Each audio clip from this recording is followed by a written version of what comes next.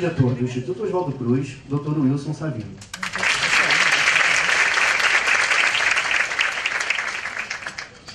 E a representante dos alunos de pós-graduação do IOC, Maria Fantinati.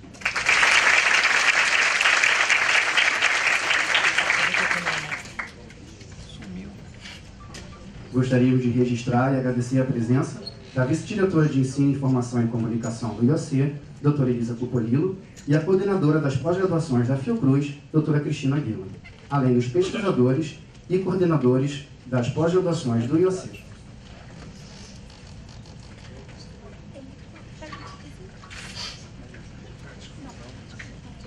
O Instituto Oswaldo Cruz atua na formação técnica, iniciação científica e possui seis programas de pós-graduação no estricto senso, alcançando em 2013 a marca de 2 mil teses e dissertações defendidas. Também possui quatro programas de pós-graduação lato senso, cerca de mil estudantes integram as rotinas dos laboratórios de pesquisa do IOC, desenvolvendo projetos que acompanham as características das pesquisas desenvolvidas no Instituto, gerando novos conhecimentos e inovações para a saúde pública no país. Passamos a palavra para a representante dos alunos de pós-graduação, Maria Fantinati.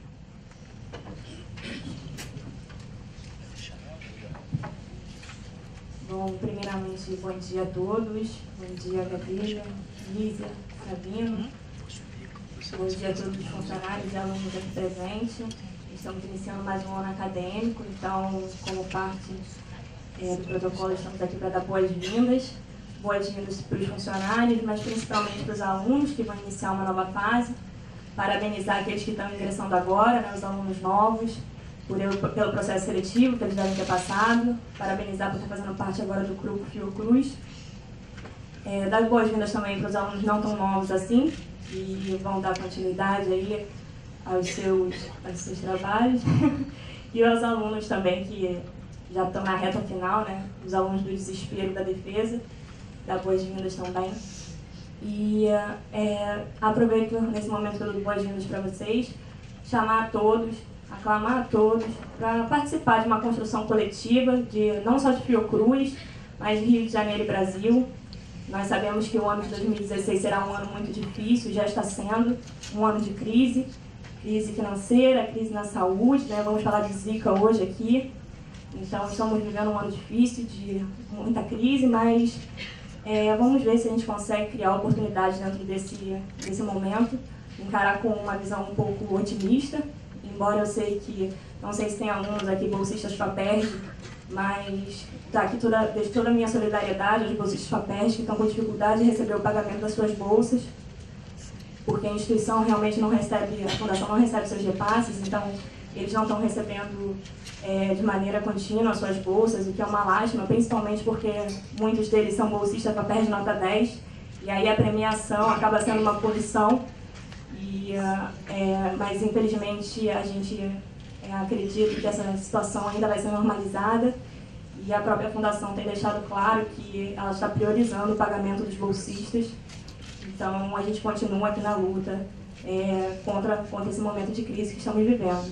Mas, como eu estava dizendo, vamos tentar, dentro da crise, é, unir forças mesmo, é, tentar criar oportunidades nesse momento. Como eu mencionei que é, esse momento de crise estamos com poucos recursos, esse ano a gente não tem uma versão do manual do aluno, do aluno para o aluno impressa. Esse manual é um manual construído por nós, estudantes, para vocês, estudantes. Então, eu escrevo esse manual todo ano, com muito trabalho. Esse ano, o Ícaro Rodrigues me ajudou na, na parte do design gráfico do, do manual. E é um manual que não vem aqui é, disputar com o manual do Instituto, é um manual que vem complementar informações. Então, ali dentro, dentro desse manual, ele é dividido em duas sessões principais, uma sessão que fala da instituição, mas fala com uma visão um pouco mais de aluno, então fala um pouquinho sobre o nosso instituto, Oswaldo Cruz, sobre as coisas que os alunos vão mais precisar.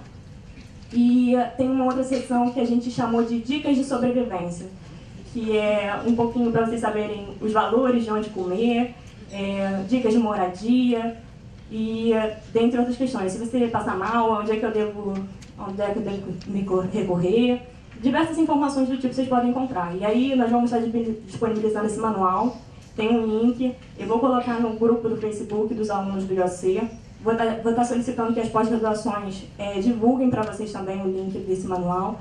E assim, o objetivo é que vocês realmente usem o manual. É, ele dá trabalho para ser feito, a gente tem um trabalhão.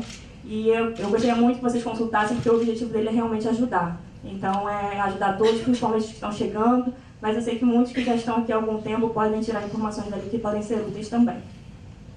É, depois de dar boas-vindas a todos vocês, eu queria pedir licença e falar um pouquinho, porque na semana, no final de semana, né, nós perdemos o Dr.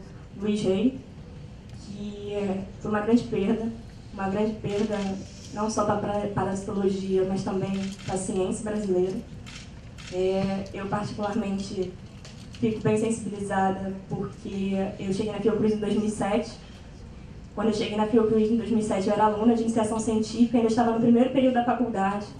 Ficava aqui no pavilhão Arthur Neiva, no laboratório 13, ali em cima. E quase que diariamente o Dr. Luiz Rei passava no nosso laboratório e chegava lá na, na, mais ou menos de tardinha e vinha tomar um cafezinho com a gente. Então ele vinha numa simplicidade, todo dia tomar um cafezinho, e eu sempre via aquele senhor entrando, cumprimentava e ele, moça, vamos tomar um cafezinho? E aí eu lá tomar um cafezinho com ele. Certo dia eu estou ouvindo todo mundo falar o rei, o rei, aí eu, alguém comentou comigo, esse aí é o doutor Luiz aquele do livro. Aí eu, que? É o, é o doutor Luiz do livro? Ele está aqui no meu laboratório. E aí, assim como o doutor Luiz Rei, o professor Cora entrava no nosso laboratório chamando a gente para almoçar, eu, que? O Cora do livro? Aqui dentro do meu laboratório. E assim, de certa forma, os dois foram muito importantes para minha permanência dentro da instituição. Porque eu vi que dentro da Fiocruz eu ia ter oportunidades como essa, de tomar um cafezinho com o doutor Luiz Rei. E é, recentemente eu fui fazer um convite para o doutor Cláudio Ribeiro, para ele participar do Fórum Docente. E ele comentou com a gente de como é que é o processo de escolha, né, na, processo de troca de cadeira na Academia Brasileira de Medicina. E aí ele estava mencionando, pra, e aí ele resolveu contar uma história pra gente, né, dizendo que uh, quando a pessoa morre, ela tem dois tipos de morte, né?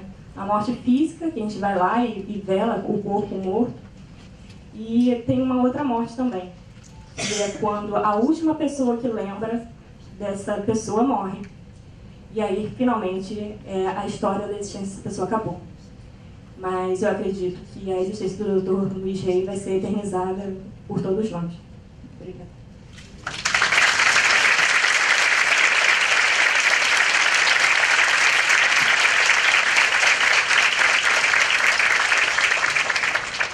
Veremos a seguir o diretor do Instituto Oswaldo Cruz, Dr. Wilson Savio. Bem, bom dia a esse transbordante auditório que não só está transbordando ali, mas tá lá embaixo está transbordando.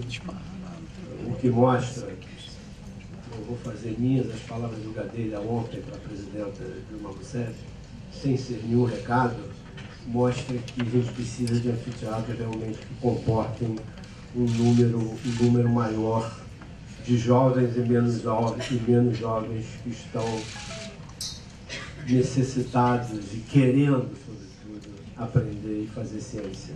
E as discussões científicas, como essa que nós vamos ter é, durante essa manhã, mostram claramente é, quão viva está a ciência nessa casa, é, quão viva está a resposta que essa casa tem dado a emergência em saúde pública de importância nacional decretada pela Presidência da República é, no dia 11 de novembro. E isso é motivo de orgulho para todos nós, e eu vou falar particularmente aos jovens e àqueles que entraram muito recentemente, que o que nós estamos vivendo aqui é um, é um momento que, através de uma situação crítica de saúde pública que nenhum de nós poderia desejar a nenhum, nenhuma nação, nós também estamos aprendendo a fazer, a dar respostas à sociedade é, de uma maneira absolutamente singular, eu diria, com uma velocidade e uma dedicação todas as pessoas que estão envolvidas nisso e dentro do Instituto Oswaldo Cruz o número não é pequeno é, no sentido realmente de, de se fazer é, a ciência que a sociedade precisa nesse momento. Nesse sentido, eu queria é, dizer que a FAPERJ, a nossa Fundação de Amparo à Pesquisa do Rio de Janeiro, que nesse momento é, sofre o que eu chamaria de uma ameaça de uma redução em 50% do seu orçamento via uma proposta de emenda constitucional, a FAPERJ deu um passo absolutamente essencial nessa, dentro do Estado do Rio de Janeiro, nessa visão de eh, resposta urgente a uma demanda social diante de uma emergência em saúde pública de importância nacional e que já em janeiro foi, foi ampliada pela própria diretora-geral da OMS como uma importância de saúde pública global. É, a FAPERJ, no final de dezembro, é, cria um edital em duas etapas para a formação de rede, forma redes, essas redes foram é, reformatadas na segunda versão do edital e ontem é, houve uma reunião com os coordenadores dessas redes, é, oficializando então seis redes, das quais o Instituto Oswaldo Cruz coordenará duas. É, isso, e, mas essas duas correspondendo a mais de 50% do total de pesquisadores envolvidos nessa, nessa iniciativa. Essa iniciativa é, que, que representa, do ponto de vista é, orçamentário da FAPERJ, em 11,8 milhões de reais para o Estado do Rio de Janeiro, é, muito bem-vinda, não só pela precisão e rapidez da resposta da instituição, como também porque ela está propiciando é, no Rio de Janeiro, e isso, na verdade, está existindo no Brasil, uma forma de fazer ciência um pouco diferente daquela que nós classicamente é, temos o hábito de ver e vivenciar, que é uma forma onde o conhecimento gerado para a sociedade é que é realmente o mais importante, os autores sendo aí executores na geração do conhecimento.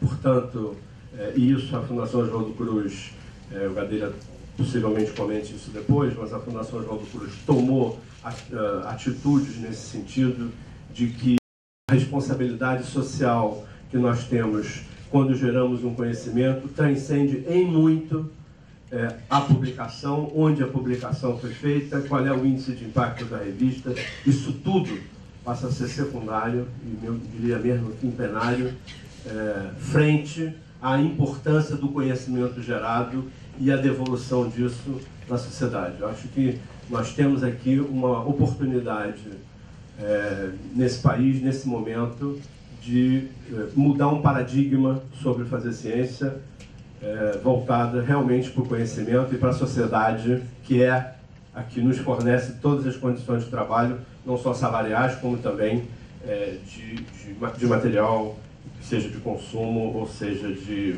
ou seja de, de equipamentos. Então, é, queria dar as boas-vindas a todos, o agradecimento nosso a todas as pessoas que contribuíram para é, esse centro de estudo, saudar a todos vocês, saudar a mesa, a presidência, no presidente, na vice-presidente, aos alunos, através do seu representante, mas, sobretudo, saudar todos os estudantes, todos os pesquisadores que um dia foram estudantes, que hoje cuidam de estudantes, e são os estudantes que são de fato o nosso objetivo, porque o futuro só pode ser construído através de uma formação de recursos humanos de qualidade, e quando eu falo em qualidade, eu me refiro à proficiência técnica, mas também ao pensamento crítico. Obrigado, bem-vinda.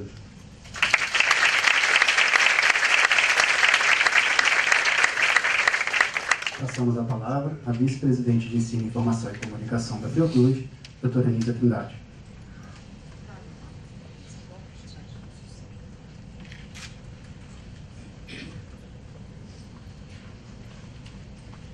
Bom dia a todos e todas. É uma satisfação muito grande a despeito da crise em que nós estamos imersos, dos grandes desafios é, colocados pela conjuntura sanitária e particular pela epidemia de Zika, mas é uma satisfação compartilhar esse compromisso institucional coletivo do Instituto Oswaldo Cruz e de toda a Fiocruz, de juntos, né, como bem é, colocou Savino, é, encontrarmos respostas é, que não, transcendem a Fiocruz, né, que tem que unir toda a comunidade de investigadores, tem que unir os gestores, as pessoas com responsabilidade eh, pública e toda a sociedade civil né, nesse momento. Então, acho que é muito especial ver esse auditório com tantas pessoas, né, a escolha do tema, né, a presença do professor Oswaldo, quer dizer, são várias coisas que nos deixam orgulhosos eh, nesse sentido do nosso compromisso. Né, eu acho que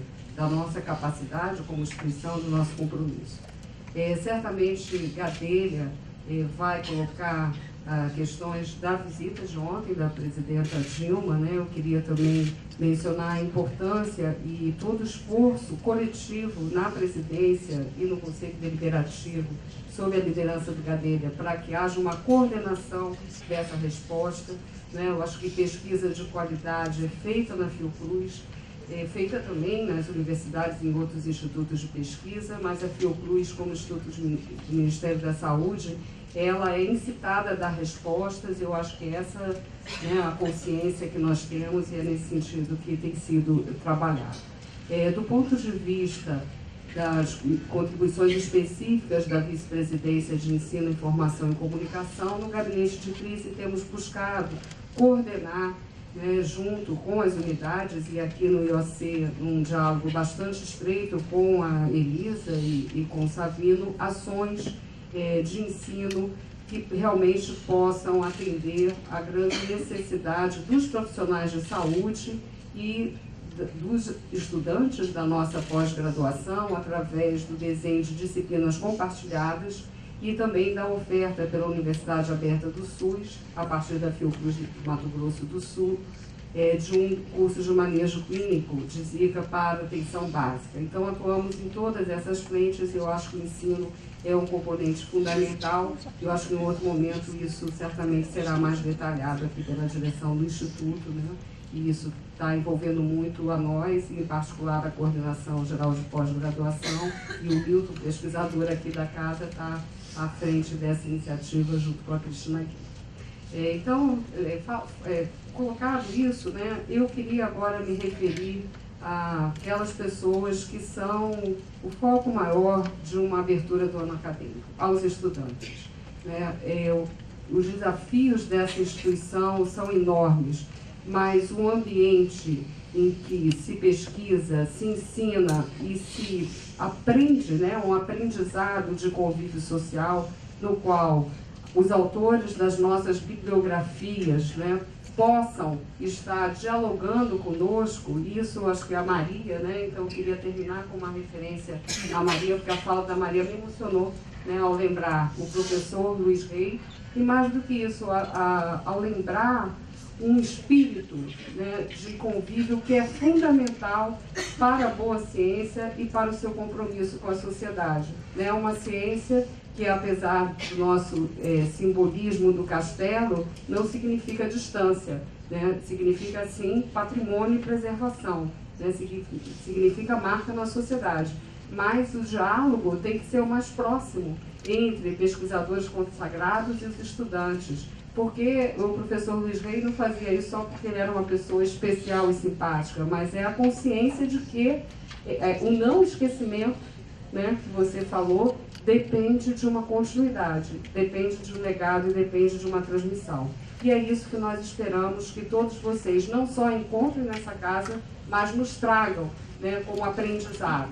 Né? Os, eu estou já no grupo dos não tão jovens, né? como é que é a categoria? Os jovens tão jovens já há algum tempo nesse grupo, mas me lembro muito bem, Maria, quando eu comecei na, na universidade e como que era difícil ter debates como esse, né? porque fiz a minha graduação em pleno já mais para o final da ditadura militar, mas enfim, em período da ditadura, e como era difícil né, a gente ter debates como esse. Então, acho que lembrar do professor Luiz Reia, lembrar da sua contribuição científica, lembrar do seu lado humano, mas lembrar também da luta de tantos brasileiros, cientistas e não cientistas, para que a gente alcançasse a democracia. E é isso que também nos preocupa muito nesse momento de crise. Então, essa, essa mensagem que eu queria deixar, esperando que a gente continue a ter momentos tão ricos de discussão como hoje proposto aqui pelo Instituto Oswaldo Cruz.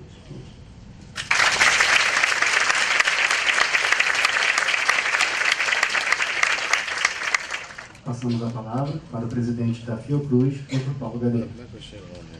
Bom, bom dia. Eu queria cumprimentar a Savino, Nízia, Maria, os diretores aqui do Instituto Oswaldo Cruz. Essa mesa que se segue de uma qualidade excepcional, né? É um prazer muito grande ter Oswaldo Nascimento aqui, que é um amigo, é uma das pessoas mais destacadas né? na área, no campo da neurologia, da neurociências e relação com a clínica, né? É, também Tânia, que trabalha nessa área no, no IOC, é, o Marcos Krieger, né, que é também um amigo, companheiro, e essa ficar patente também o que significa essa, esse scope, essa diversidade da Fiocruz e as interações internas e externas né, na produção de conhecimento e respostas, né, e ainda mais a, os debatedores da qualidade Savino e Mirna. Então, é, para os alunos, né, a Tânia, eu sei que é do Instituto Nacional da Saúde da Mulher, da Criança e do Adolescente. É o nosso é, é Instituto Fernandes Figueira, mas hoje já tem, o, já tem o, essa nova denominação. Né? É, há momentos que, tanto na nossa trajetória individual como na trajetória das instituições, né, nós somos testados a dar a resposta e o melhor de nós. Esses momentos né, caracterizaram o marco inicial dessa instituição lá aí dos passados, no início do século é, passado, em 1900, né, quando vocês conhecem bem essa história, está aqui os pioneiros e a trajetória que se construiu nessa tradição, né, é, a relação entre encruzilhadas de um projeto de nação, encruzilhadas de uma visão de Estado, as visões sobre o que, que era o sentido do desenvolvimento de um país, encontrou uma relação muito próxima daquilo que a ciência e a saúde tinha a dizer sobre esse processo mais amplo da sociedade brasileira. É nessa conexão entre a pertinência do que a gente faz, do que a ciência e a saúde significam para essa equação entre modelo de desenvolvimento, atendimento das questões sociais, das necessidades humanas, de um processo de sustentabilidade desse desenvolvimento, que essa instituição se afirmou. E ela vem recriando isso, momentos áureos, momentos mais difíceis, ela vem recriando isso a cada momento em que ela é instada a responder. A resposta que ela teve a uma crise sanitária de 1900 foi também uma resposta na década de 70, depois de períodos de grande decadência durante a ditadura militar, com a cassação de que marcou profundamente a história da instituição, dos caçados de Manguinhos, foi a resposta a uma nova emergência sanitária, no caso da meningite, que refez novamente o lugar e o processo que essa instituição teve como o lugar aonde a resposta era mais possível e era mais promissora. E eu estou falando isso porque essa crise que a gente está atravessando, seja ela nas dimensões mais gerais da crise de projeto de nação, de projeto de Estado, de projeto de sociedade, de modelo de desenvolvimento, e que está associada também a uma crise da emergência sanitária, ela retoma essas questões para nós enquanto indivíduos, enquanto cidadãos, e retoma essas questões para nós enquanto instituição Fiocruz.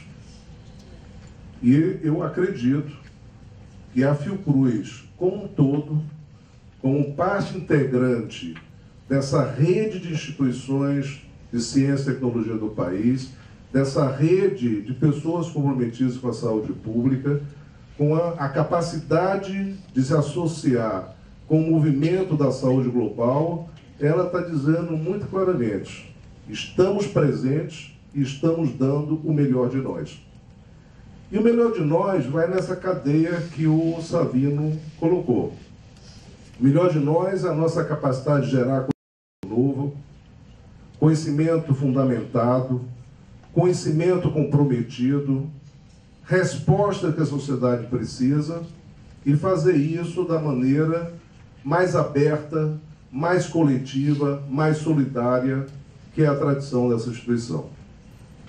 Nós assinamos, e é a isso que Savino se referia, além das políticas, onde Nisa teve um protagonismo grande, sobre a questão do acesso aberto do nosso repertório, para que a gente possa ter a capacidade de apropriação mais coletiva da produção de conhecimento da Fiocruz, nós assinamos um manifesto que reúne grandes instituições do campo da pesquisa, como é o caso do NIH, como é o caso do Estudo Pasteur de Paris, grandes áreas é, também de fomento, como é o caso do Wellcome Trust, e também periódicos extremamente significativos, como é o caso da Nature Science e o Lancet, se eu não me engano, um manifesto em que nós dizíamos, especialmente neste momento em que a gente precisa de respostas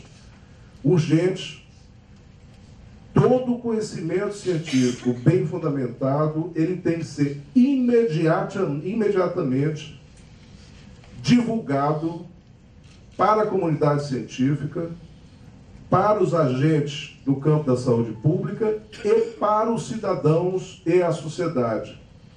Porque os cidadãos e a sociedade bem informados, eles têm o direito de aprenderem na capacidade de nós transmitirmos esse conhecimento para o conjunto das pessoas, aprenderem o que é, relevante do momento que ele está vivendo e tomarem também suas decisões individuais sobre suas vidas, sobre as suas reações enquanto pessoas. A uma situação que a gente sabe nos estudos históricos, e a Nízia também é uma das pessoas que contribuiu muito para isso, a gente sabe que quando a sociedade está sob ameaça, e as epidemias significam isso, toda a questão do medo, toda a questão do desconhecido, toda essa questão da não segurança da resposta, ela traz é, possibilidades ou virtuosas, se forem bem trabalhadas, ou possibilidades catastróficas. Porque a desinformação impera, porque o que tem de pior no medo é trazido das pessoas, o ovo da serpente começa a gerar serpentes, a intolerância, a possibilidade de começar a discriminar o outro, a possibilidade de começar um processo de desagregação social, ela existe. E a nossa tarefa está atuando também nesse nível. A Fiocruz, né, e eu não vou me alongar, porque o essencial de hoje é com vocês, alunos, né, e a, pós-graduação, o processo de. Todas as áreas de formação são centrais para que haja esse processo de replicação, de reprodução, de oxigenação é, de todo o campo científico. Né? Eu nunca esqueço nessas situações uma figura muito próxima a nós e a Fiocruz, que era o Carlos Chagas Filho. Né? Carlos Chagas Filho, ele já totalmente consagrado, tendo construído as instituições mais importantes do Brasil, o Instituto de Biofísica, que leva seu nome, tendo sido já presidente da Academia Pontifícia do Vaticano, representante do Brasil na Unesco, ele conseguia juntar essa coisa da ciência, da, da, da cultura, né? Quando ele foi fazer uma biografia que foi editado pela Fiocruz, né, o título que ele deu foi Aprendiz de Ciência. Ou seja, alguém como o rei, e tantos que a gente já lembrou passar por aqui, Sachê e os outros, né, que podiam estar no alto da sua consagração, né, se vendo como ícones, que são também, ele dizia: Eu sou um aprendiz de ciência. Ciência e o aprendizado e o processo de ser um estudante é eterno. É claro que formalmente vocês estão num processo de é, titulação, um processo de. Mas isso é para sempre. Se quiserem fazer ciência, se quiserem estar se renovando, é para sempre. É um eterno aprendiz. E é isso é que dá essa vitalidade. Nós temos né, é, é, indicadores que nós estamos agindo corretamente. Nesse desafio do Zika, e eu quero dizer, o Zika é, é um evento muito importante, mas ele traz uma dimensão muito maior e precisa ser entendido do que a questão do Zika. Tanto o desafio da saúde pública, quanto as perplexidades, indagações do campo da, da ciência, da pesquisa nessa área, mas o conjunto de questões que ele coloca. Quais são os determinantes últimos que levam ao surgimento né, de arrovirose, de doenças emergentes, né? está associado a um modelo de desenvolvimento, está associado a processos ambientais, está associado a questões ligadas à qualidade de vida na área de saneamento, de oferta é, de, de, de, água. É, ao mesmo tempo, né, nós sabemos que isso remete para um conjunto de outras possibilidades que podem estar surgindo. Né, e que poderão e certamente surgirão se gente não tiver uma reversão desses processos. Por outro lado, no campo científico, né, eu acho que essa mesa de hoje é muito significativa, né, é, a separação, muitas vezes pensada, infecciosas, crônicas, né? ela também, ela já há muito tempo vem falando disso. A Fiocruz já, já se colocou como prioridade trabalhar nas tradições fortes que ela tem e fazer interações com novos campos aonde aparentemente a Fiocruz não tinha uma palavra e onde ela está se movendo de uma maneira significativa. E uma delas, delas é na área de neurociências. Hoje nós temos o caso muito típico e muito profundo dessa associação entre um agente infeccioso e todo o processo de malformações congênitas, toda a questão de Guillain-Barré, todas as questões que mostram que o enfrentamento de um problema, a gente recorta por disciplinas, mas ele é um enfrentamento holístico, global, que a gente tem que fazer. E a Fiocruz tem que acompanhar isso, acompanhando o que, que é a carga de doença, acompanhando quais são os problemas centrais. Esses períodos agora têm sido muito ricos. Né? É, em 15 dias, nós tivemos aqui a presença da Margaret Chan, a diretora-geral da OMS, que escolheu esse símbolo, esse lugar, para daqui falar da sua experiência do roteiro no Brasil, ela teve em vários locais, inclusive em Pernambuco, que é o epicentro do problema que surgiu é, nessa relação da Zika com as malformações congênitas e Guillain-Barré. E ela escolheu esse lugar. Dizer, não é à toa. Esse lugar carrega um simbolismo, carrega um peso.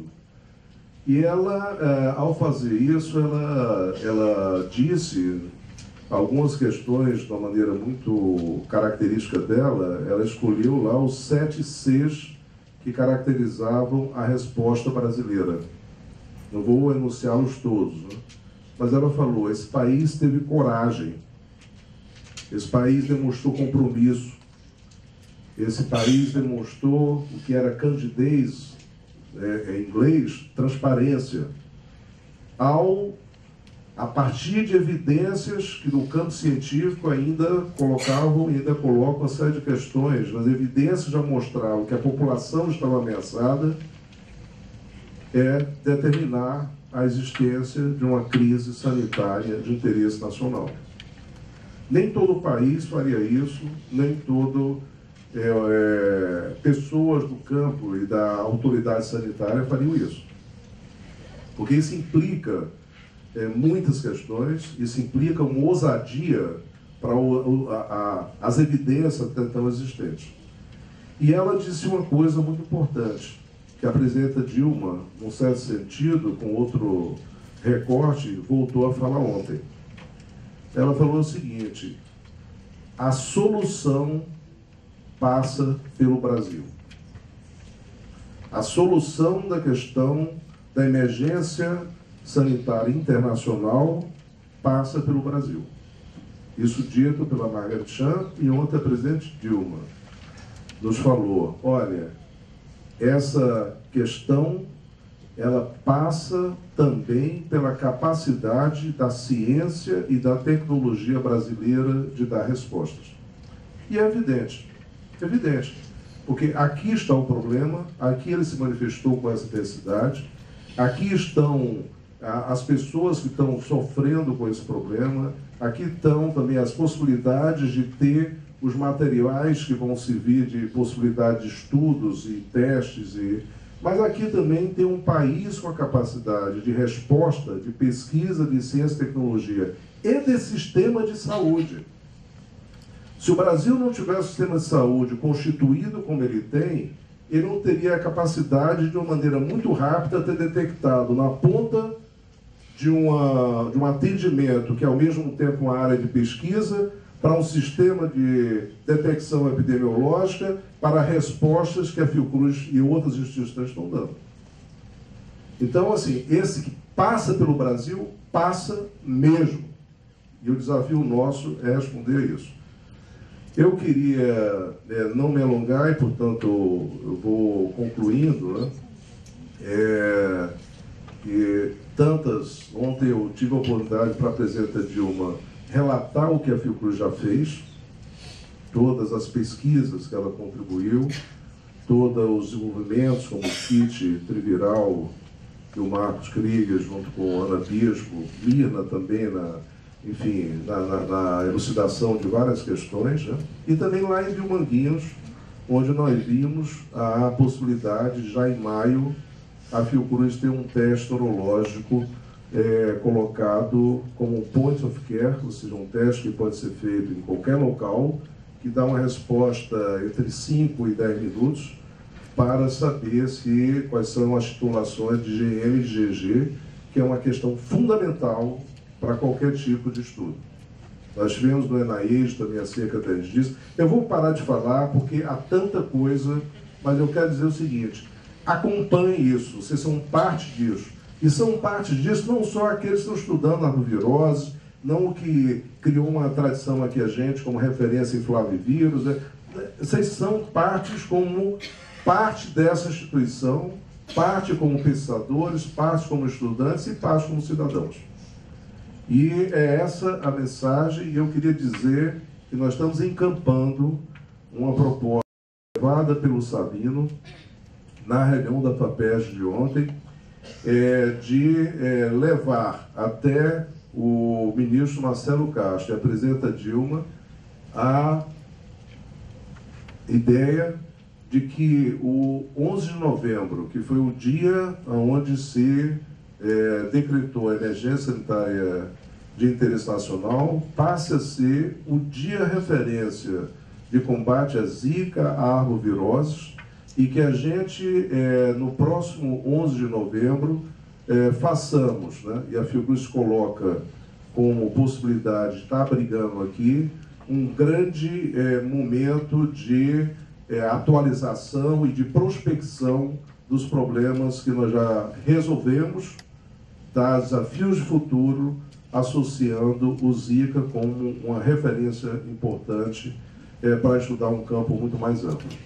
E vocês são mais novos, alguns, alguns são mais antigos, já me viram repetir N vezes, né, alguns, esse mantra. Mas esse mantra é um mantra que reflete a, o ethos da Fiocruz. É uma frase do Carlos Chagas. pai, né?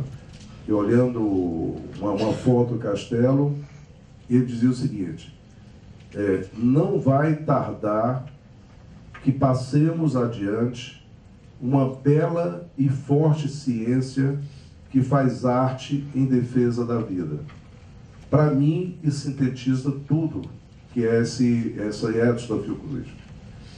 É uma ciência que é uma ciência que não está enclausurada, ela tem que ser passada adiante para vocês, para a população. É uma ciência que não faz conexão entre ciência e arte, ciência estética, ciência e cultura. E é uma ciência fundamentalmente que está comprometida com o resultado e com a melhoria da qualidade de vida das pessoas.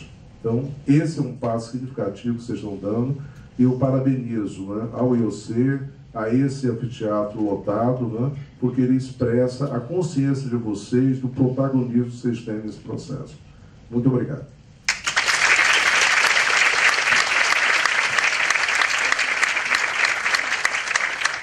Obrigado, doutora Telha.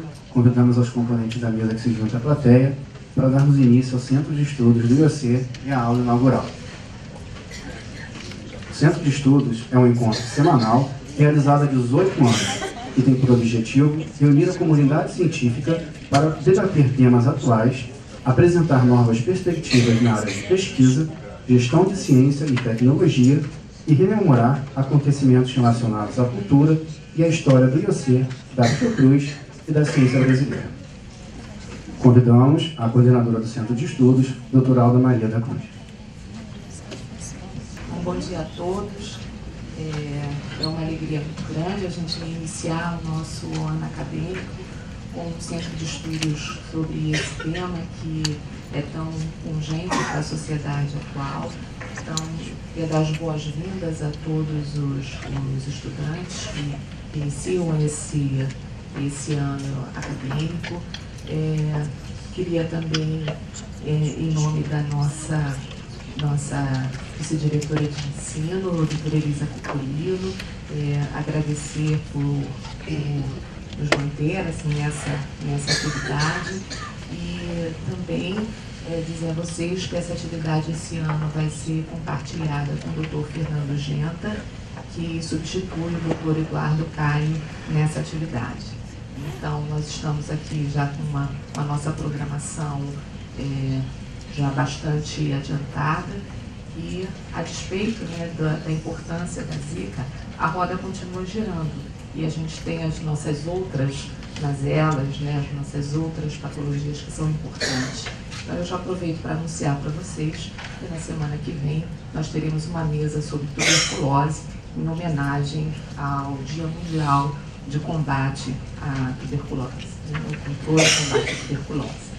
É, eu gostaria então de convidar o Dr. Wilson Sapino e a doutora Mirna Donaldo para darem seguimento a, a essa sessão. Bom dia a todos.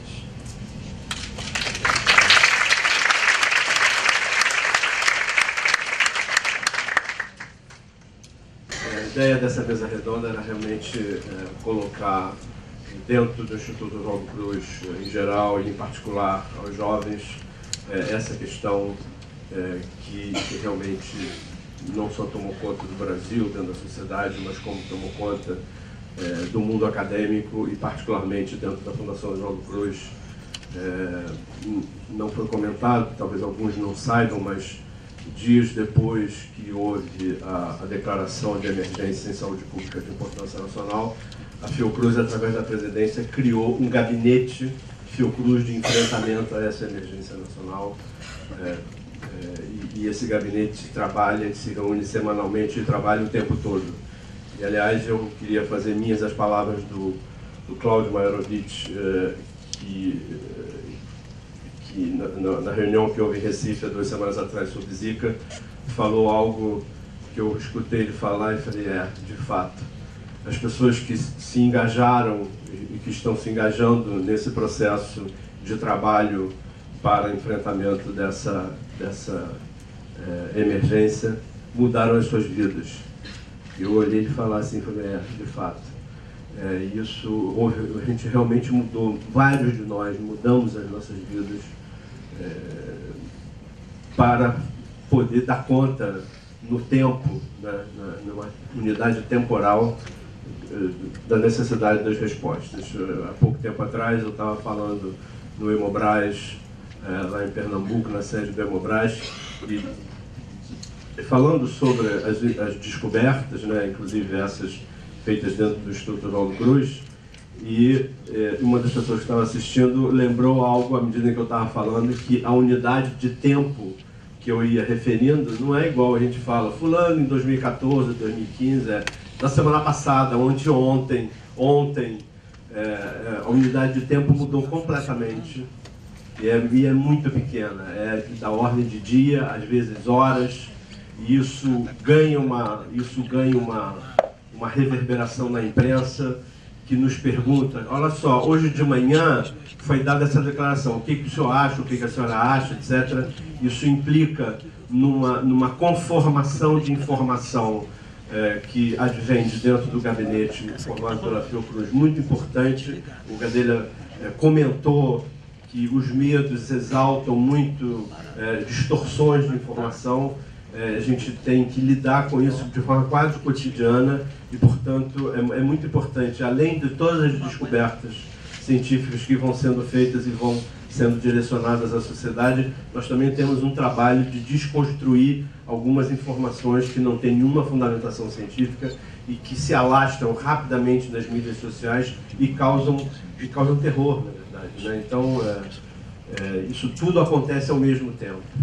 Nessa mesa redonda, a ideia era discutir dados científicos, tanto do ponto de diagnóstico, que é um aspecto crucial.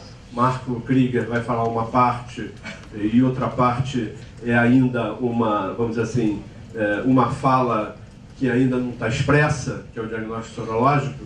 É, é, depois, nós vamos concentrar atividades de informação científica através eh, das informações da Tânia, da Tânia Saad, do IFF, que é uma neuropediatra especialista em microcefalia, eh, que vem acompanhando casos de microcefalia associada, associada à infecção congênita pelo Zika, seguindo é, é, pela intervenção do Oswaldo Nascimento, é, do Hospital Antônio Pedro, da UF, que é um especialista em neuropatias periféricas e vem acompanhando é, pacientes infectados com Zika que mostram alterações neurológicas importantes é, do ponto de vista de, de nervos periféricos. É, como, como nem todos nós conhecemos, e eu até me incluo nisso, é, conhecemos é, o detalhamento do próprio vírus, é, eu solicitei ad referendum da organização é, é, do Centro de Estudos, a, a Mirna, que debaterá esse, esse, esse, essa, esse dia, essa mesa redonda, para fazer uma rápida apresentação de forma a que todos nós tenhamos o limiar a partir do qual a questão diagnóstica e as questões clínicas vão sendo é, acumuladas. Então, sem mais delongas, eu passo a palavra para a Mirna para que a gente é, Mãe de Brasa nessa, nesse centro de estudos. Então, o, o Zika, ele é um clavivírus né, da família Flaviviridae. Esse, esse gênero tem importantes patógenos humanos, como a febre amarela, a encefalite japonesa, o vírus do oeste do Nilo, a dengue. Então, ele, é, eles, eles estruturalmente eles são vírus em torno de 50 nanômetros, e são vírus envelopados. É, são vírus relativamente pequenos, eles possuem um RNA de 11 kp, fita positiva, quer dizer, ele age como se fosse um mensageiro é, celular, quando a infecção celular, e você tem uma poliproteína que vai ser crivada para formar três proteínas do, do, do, envelope viral e o resto os componentes da replicação, é, que vão mediar a replicação viral. É, como eu falei, não precisa. O que eu quero só chamar a atenção é que toda a árvore filogenética envolvendo os flavivírus, e o Zika ele estaria aqui nessa, nessa, nessa distribuição. Então ele está cercado por vários vírus que promovem encefalite e pelo vírus da dengue. É, quando é, a, ocorreu a primeira é, epidemia na, na, na, Oceania, fora dessa, de uma região que não era endêmica, é, que foi na ilha de, no arquipélago de Iape, na Micronésia, é, Lanciotti fez esse estudo de filogenético e viu que nesse momento foi derivada uma, uma, um subclade que foi denominado asiático.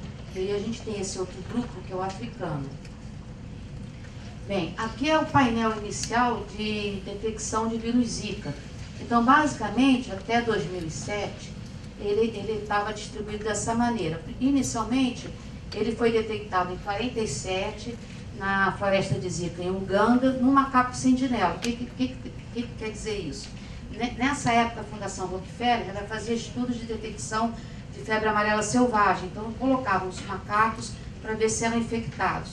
E numa infecção desse macaco é, é, sentinela, um deles, né, de número 766, foi isolado o vírus Zika.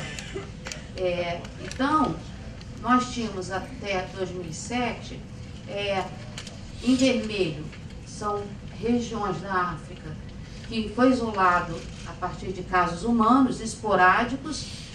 Nós tínhamos também em amarelo toda essa região aqui, que você já detectava é, imunoglobulina reativa ao, ao, Zika, e aqui em verde, que são esses três pontos, foi onde foi isolado a partir de mosquito.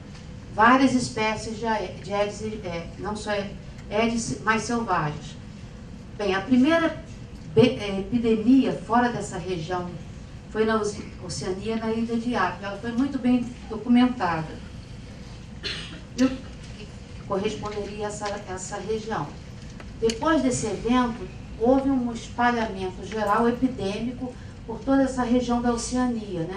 Então, está muito bem relatadas as epidemias da Polinésia Francesa, Ilha Cook, Nova Caledônia, Vanuatu e Ilha de Páscoa, que pertence ao Chile.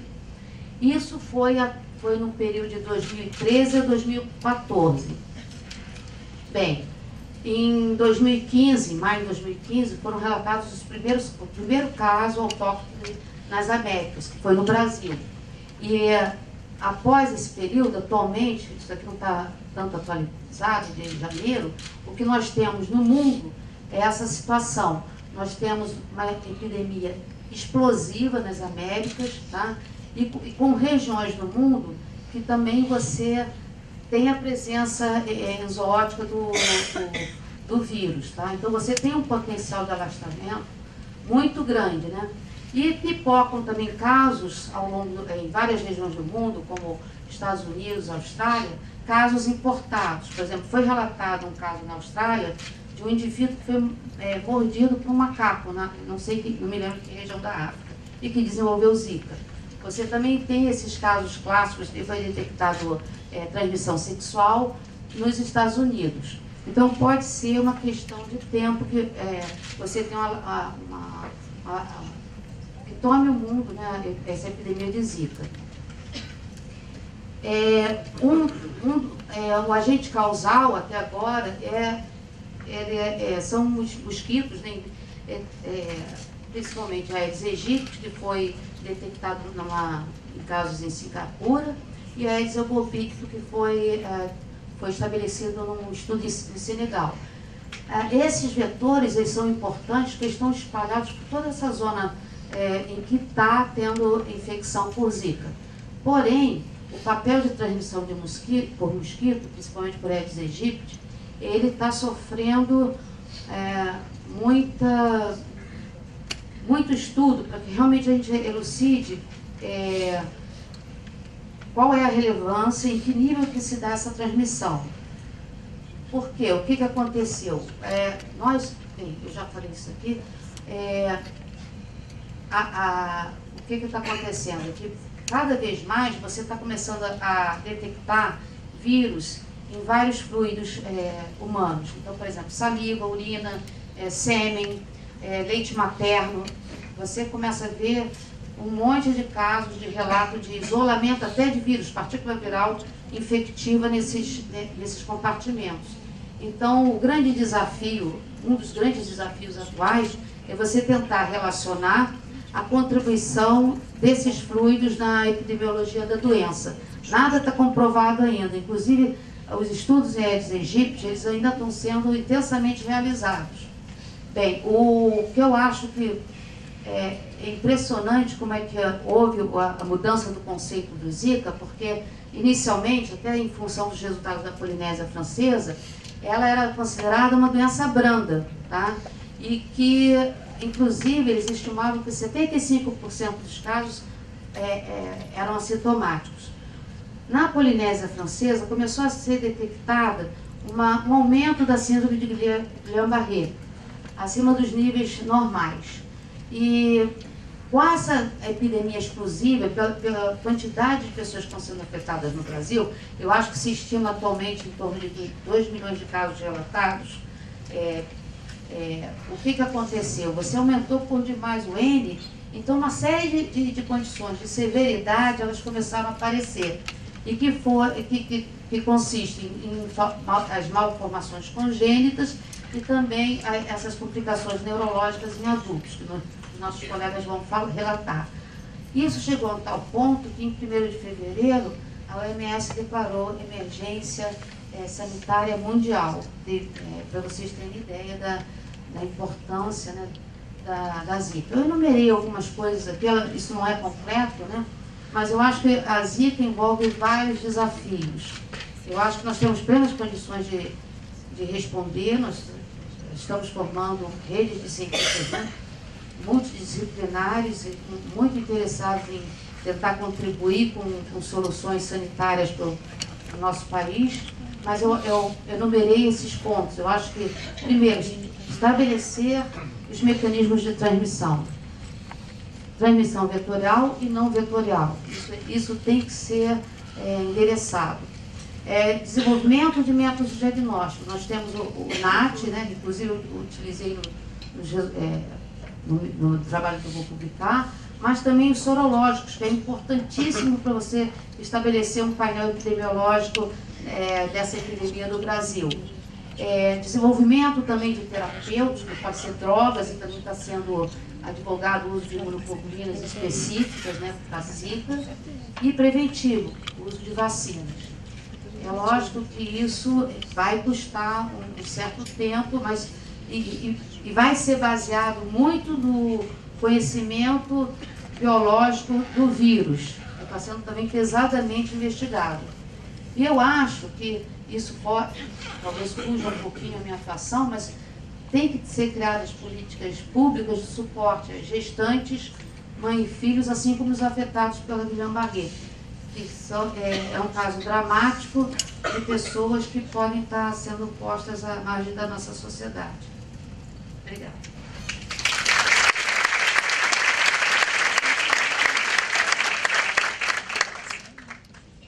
Bom, enquanto acho a apresentação ali, eu gostaria de agradecer a Elisa que fez o contato uh, do convite. Dizer que eu fiquei um pouco preocupado no dia, eu falei assim, pô, mas eu não sou especialista em Zika, né? Mas depois agora vendo a Mirna falar, já relaxei. eu acho que estamos todos aprendendo e isso é, é, é, é, importante a gente estar participando. Né? Agradecer ao Sabino aqui como diretor, Paulo também, né? que tem nos apoiado tanto. Eu vou contar um pouco da história da nossa atuação no campo de diagnóstico e como isso possibilitou que a gente possa ajudar a ter ferramentas de uma maneira rápida aqui na Fiocruz. É, é, Bom, ah, esse trabalho já vem sendo desenvolvido há bastante tempo e a primeira coisa que a gente tentou fazer nesse campo de diagnóstico foi é, uma leitura da demanda do mercado.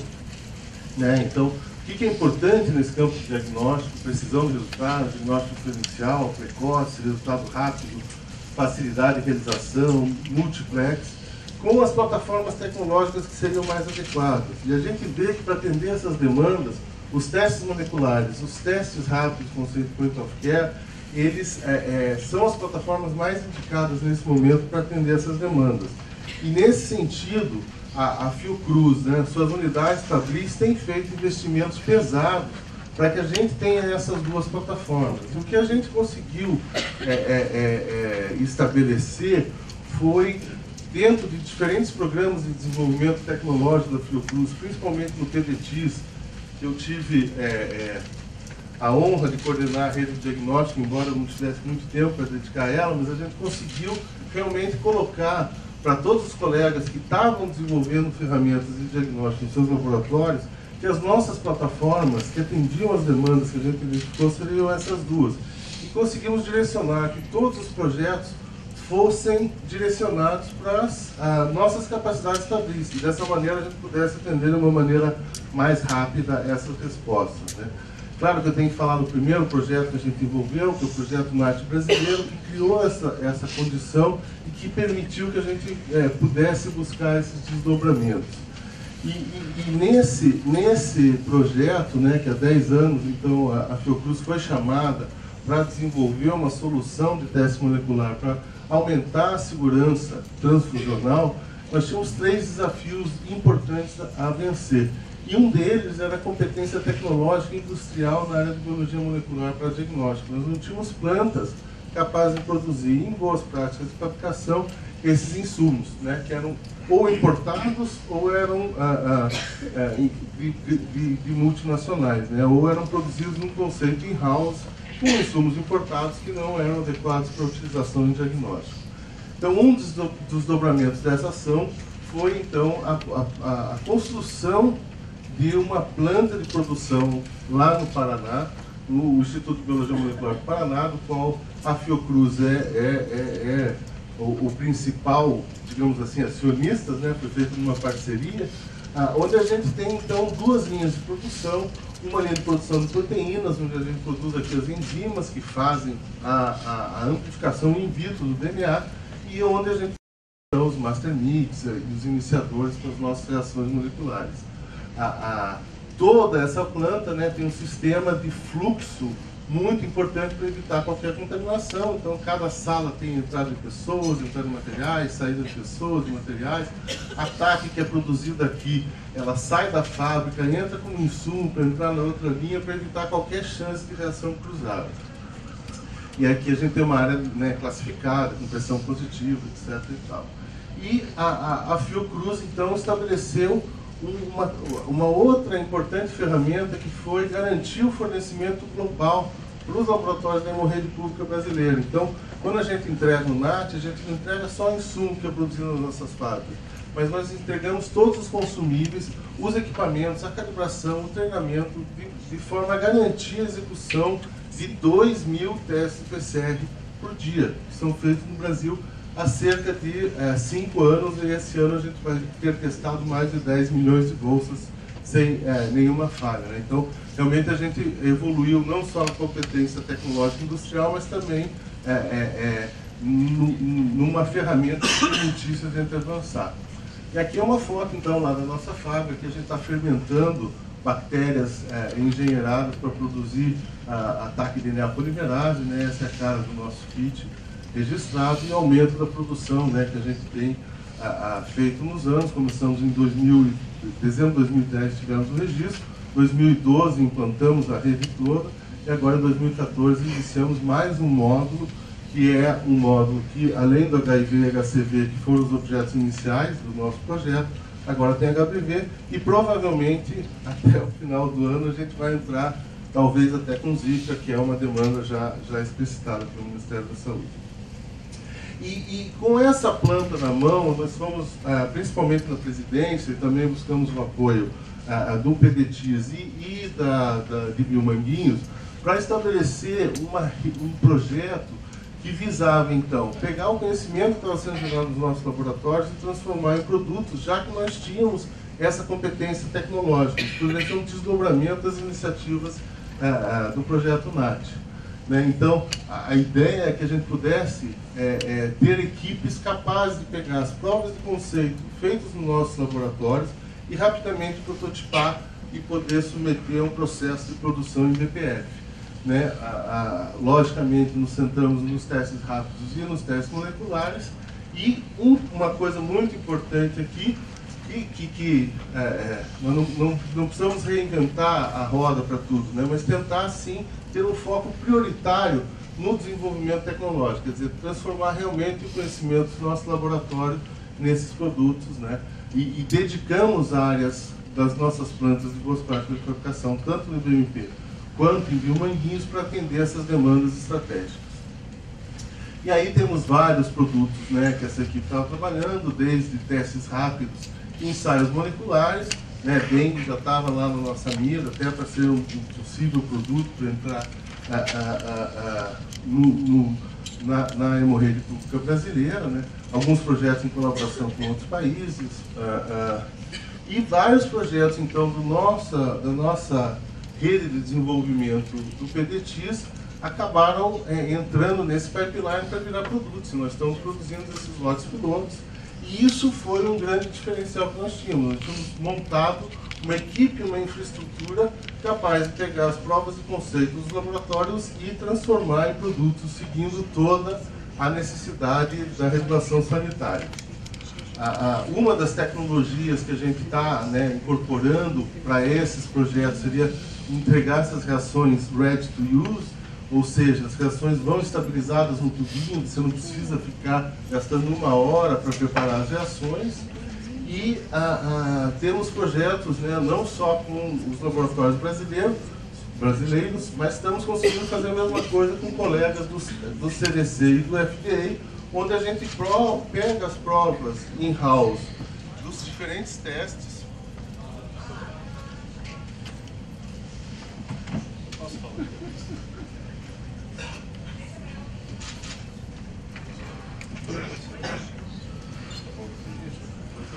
Bom, eu vou.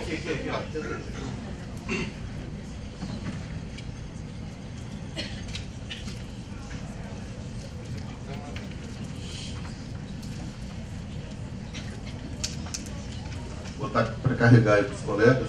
É, então, fizemos a mesma coisa né, que pretendemos fazer com os diferentes projetos da Fiocruz e ah, ah, tivemos juntos lá, né, com o professor Gadelha, assinamos um protocolo para a produção desses kits de distribuição é, é, nos Estados Unidos e na África. Né, no formato que as reações já vão prontas, a gente testaria nesse modelo aqui quatro espécies diferentes de malária, ah, não vou entrar nos detalhes, mas uma das vantagens dessa metodologia é que as reações são termoestáveis, então elas são termoestáveis por um mês a temperatura ambiente, temperatura ambiente de Curitiba, tá? que é um pouco mais civilizado. É, é. Aqui eu não sei se certo, esse verão aqui foi um pouco complexo, né? mas estáveis é, é, é por um ano a, 12, a, a, a, temperatura de 4 graus. Isso é uma grande vantagem para a gente realmente garantir que esses testes cheguem em, em, em situações onde as condições laboratoriais não são tão boas.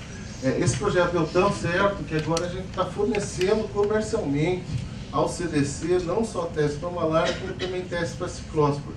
Então o CDC comprou testes para uma, uma está distribuindo nos laboratórios públicos americanos e ah, encomendou o FDA agora, estavam lá na semana passada também para avaliar esse teste e querem levar esse teste para ser utilizado nos Estados Unidos. Então, eu acho que é, é, um, é um, orgulho para a gente não estar tá só fornecendo para os públicos brasileiros, mas também ter um aval como esse do CDC. Né?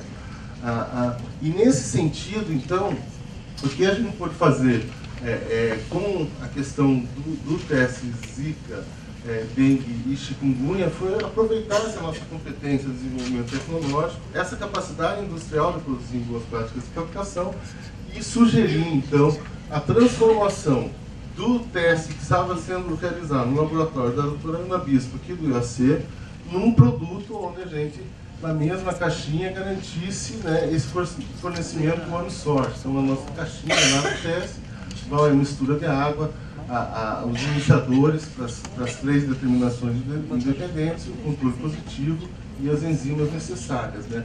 Isso tudo produzido é, é nas, nas, condições de boas práticas de fabricação. Então a ideia desse primeiro desenho é que numa mesma placa a gente pudesse testar 30 pacientes para as três determinações e fazer um teste 3 em 1 discriminatório, né?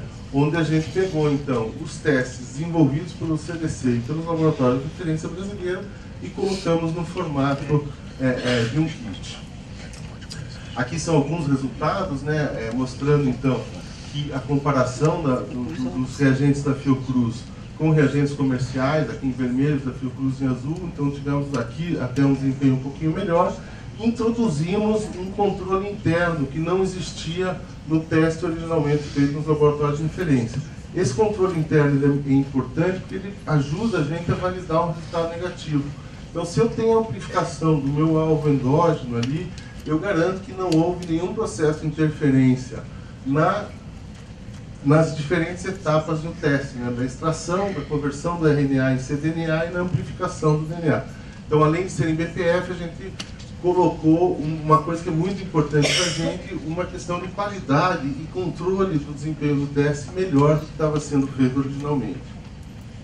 Isso aqui é só para mostrar uma etapa da avaliação, então a gente vai diluindo isso aqui ah, numa curva de diluição, aqui um para 10 mil, um para 100 mil de uma cultura de vírus, e aqui comparando o nosso desempenho com o desempenho do, da solução comercial in-house que estava sendo usada, e aqui, quando a gente chega no limite de detecção, é que a gente começa a ver as falhas. Né? Então, a, a, o nosso, nesse limite de detecção, pegou 4 de 8 replicados, enquanto o sistema comercial pegou só 3, mostrando que a gente tinha quase que, né, até parece melhor, mas é o mesmo nível de sensibilidade, embora os nossos CTs fossem um pouquinho menores também, o que mostra que uma eficiência de PCR é um pouquinho melhor.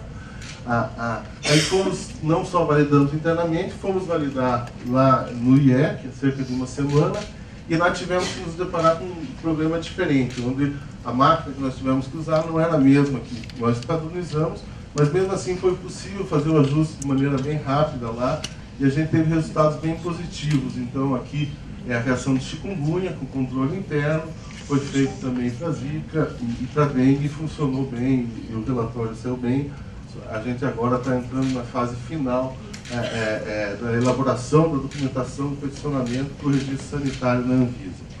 Ah, aqui mostrando o que a gente pretende fazer no futuro próximo, né, onde a gente gelificou essas reações, então, e aparentemente a gente tem o mesmo desempenho da reação líquida com a reação gelificada, com o nosso controle. Então, isso pode permitir que a gente tenha uma segunda versão do kit ready to use, já no formato mais fácil para fazer, mas nós concentramos no primeiro formato para conseguir o registro mais rapidamente e vamos propor essa, essa melhora é, no futuro próximo. É, é, e eu acho que é importante a gente dizer né, que a gente não está só nacionalizando e tendo uma performance um pouco melhor, mas a gente está incluindo esse conceito né, de boas práticas. Então, aqui é, é, é, uma foto do complexo da Fiocruz do Paraná, onde a gente tem o ICC associado a ele a planta do IBMP. É, é, um dia ensolarado lá, que eu tive que esperar quase quatro meses para tirar essa foto. Não foi fácil. É, eu achei que você caprichou. Onde a gente tem a preocupação, então, né, de ter uma condição de higiene na produção desses insumos muito maiores, né, é, todos os detalhes necessários para o BPF, mas o mais importante é, é essa questão realmente do controle de qualidade. Né? Então, só para mostrar para vocês, saiu totalmente da formatação aqui, não tem problema. O que, que, a gente, o que é feito hoje com esses testes no, no Brasil? Então, os laboratórios de referência qualificam diferentes fornecedores e eles estão qualificados. Nós, na produção de BPF, a cada lote, nós testamos todos os insumos de maneira combinada para garantir a performance do teste. Então, chega a matéria-prima aqui, isso aqui é, vai para o CQ, isso aqui, se aprovado, vai liberado para a produção, a produção produz a mistura de primers, faz um novo TSCP, se isso for é, é, aprovado, vai para o produto intermediário e depois no produto é feito mais um teste. Isso só lá no Paraná. Quando chega em Biomanguinhos, esse teste é repetido. E com esse tipo de, de, de, de avaliação, a gente garante que a performance do teste vai ser a mesma em qualquer laboratório que a gente tenha. E a gente já teve problema com os insumos que nós produzimos, com os insumos dos primers, das sondas, quer dizer, é muito importante ter esse tipo de ferramenta porque a gente sabe que essas reações no limite de sensibilidade que a gente quer ter para poder pegar as cargas virais mais baixas, a gente tem que realmente garantir a performance do teste. Aqui só para mostrar, por exemplo, um teste para RT, onde a gente teve então uma RT que estava é, fora do nosso padrão, onde a gente perdeu replicatas e atrasou a reação. Então isso a gente já teve para todos os insumos, e os insumos que nós vamos entregar, eles vão ter a garantia, e aí é a diferença. Em vez do pesquisador, do laboratório de referência assinar o laudo, quem vai estar assumindo a responsabilidade técnica sou eu ou o Edmilson. Então a gente vai garantir que o teste funcione porque a gente tem um controle absoluto de todos os projetos. Né?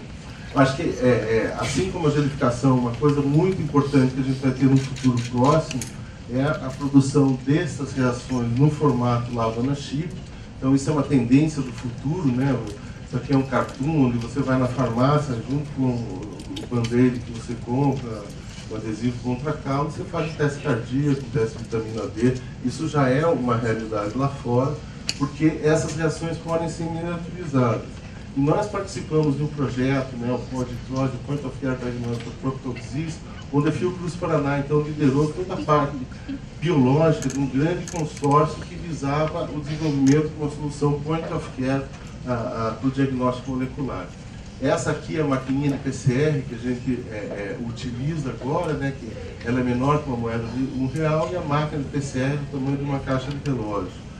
E aqui a gente teve resultados muito satisfatórios, né, aqui não dá para ver, mas é, já é um teste para chagas num chip, onde já tem o castelinho da Fiocruz aqui, isso já foi validado como protótipo, e a gente já fez o teste para Zika e as reações funcionaram muito bem aqui também. Então, provavelmente, ainda durante esse ano, a gente entra com a gelificação e logo na sequência entra no formato Point of Care, onde a gente acopla essa máquina de PCR o sistema de sample prep que foi desenvolvido pelos nossos colegas nesse projeto da Fraunhofer Enes, que é microfluídica e nanotecnologia.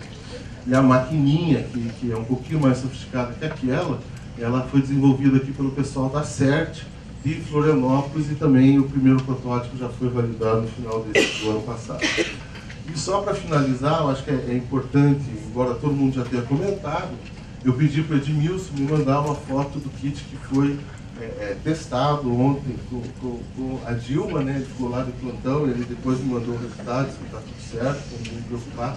A Dilma não está infectada. Isso é um segredo do chinelo, né? e aqui é, é, é, a amostra, né? É, é, de, um, de, um, de, um, de um kit para IgG e sorológico e dessa forma, eu acho que espero que o nosso registro saia um pouquinho antes do de Biomanguinhos, porque nós começamos um pouquinho antes, vamos tentar correr, mas eu tenho certeza que em maio a Fiocruz estará ofertando as duas soluções é, é, para o diagnóstico, que são ferramentas complementares para a gente atacar a fase aguda e depois o acompanhamento é, da doença. Tá? Muito obrigado.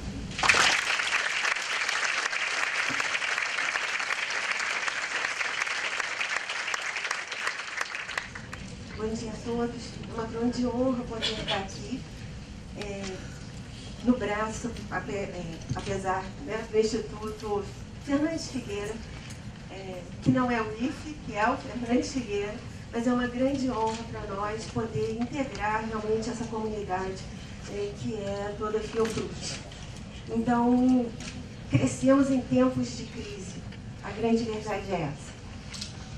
E talvez através dessa crise as, todas as instituições é, que são, digamos assim, envolvidas na Fiocruz possam se aproximar cada vez mais e contribuir de todas as formas, né, num uníssono, e conseguirmos dar respostas que a nossa população tanto precisa. Então, a proposta de hoje vai ser nós conversarmos sobre as manifestações neurológicas do vírus Zika, tanto pela transmissão vertical quanto pela transmissão autóctone. Para isso, o doutor, doutor Oswaldo Nascimento, meu ilustre mestre. É...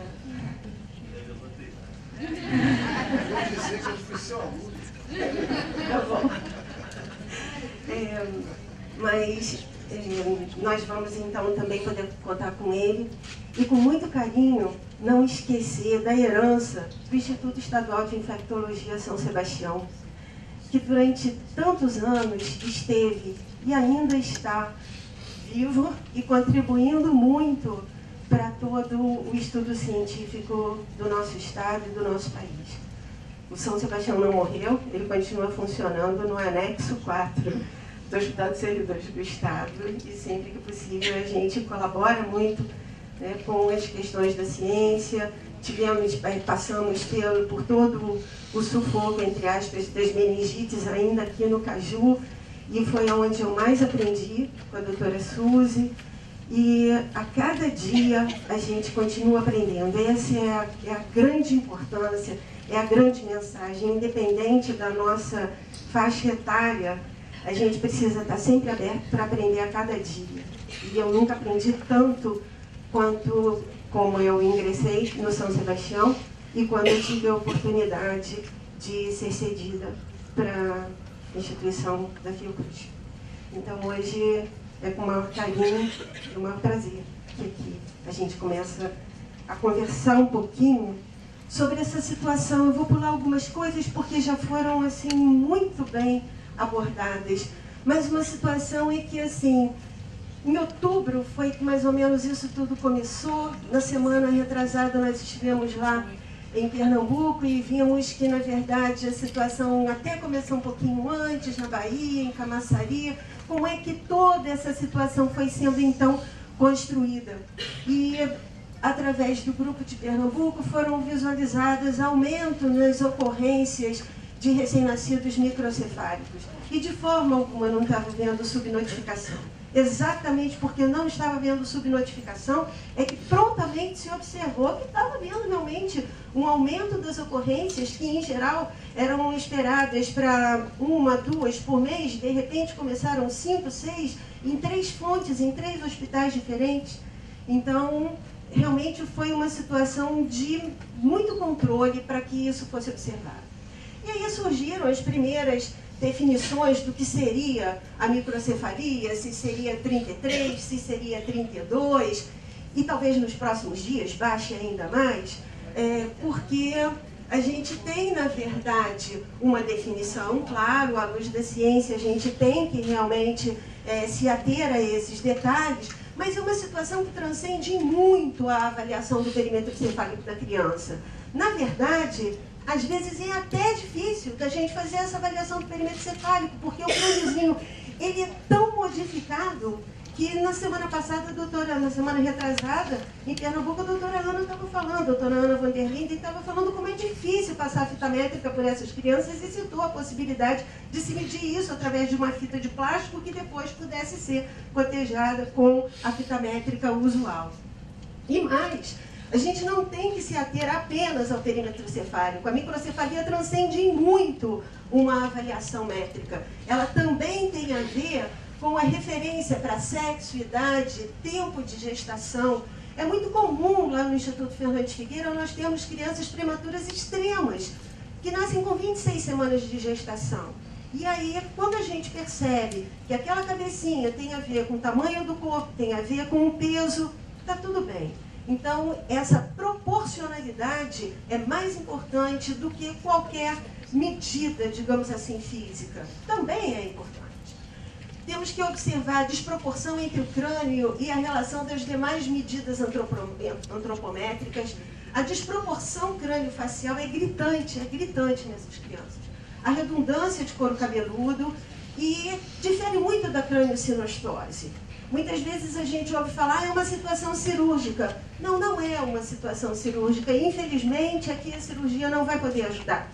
Nós temos casos, sim, em que a, a, neurocirurgia auxilia muito quando existe uma soldadura precoce dessas estruturas. E por isso o cérebro não consegue crescer. E por isso aquela criança manter, começa a desenvolver um atraso no desenvolvimento. Aqui é o contrário, as estruturas estão abertas. Na verdade, o crânio não cresce porque o cérebro que está ali dentro não está crescendo. De alguma forma, ele foi desacelerado.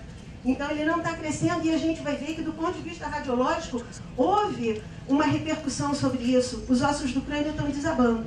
Então, a neurocirurgia, nesse momento, não vai poder nos ajudar.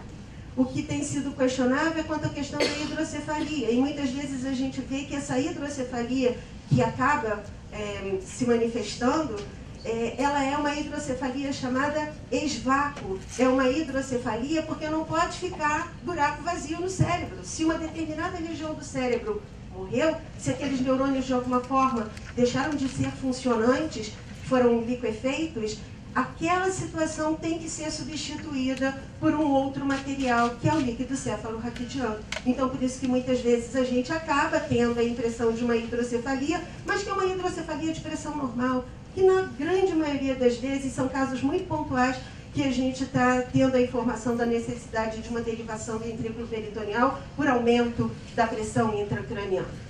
Então, assim, só deixando a lembrança da microcefalia grave, que é quando nós temos é, uma alteração com menos três desvios padrões, ela é ainda mais rara e muito mais grave. E talvez a gente ouça falar disso nos próximos dias.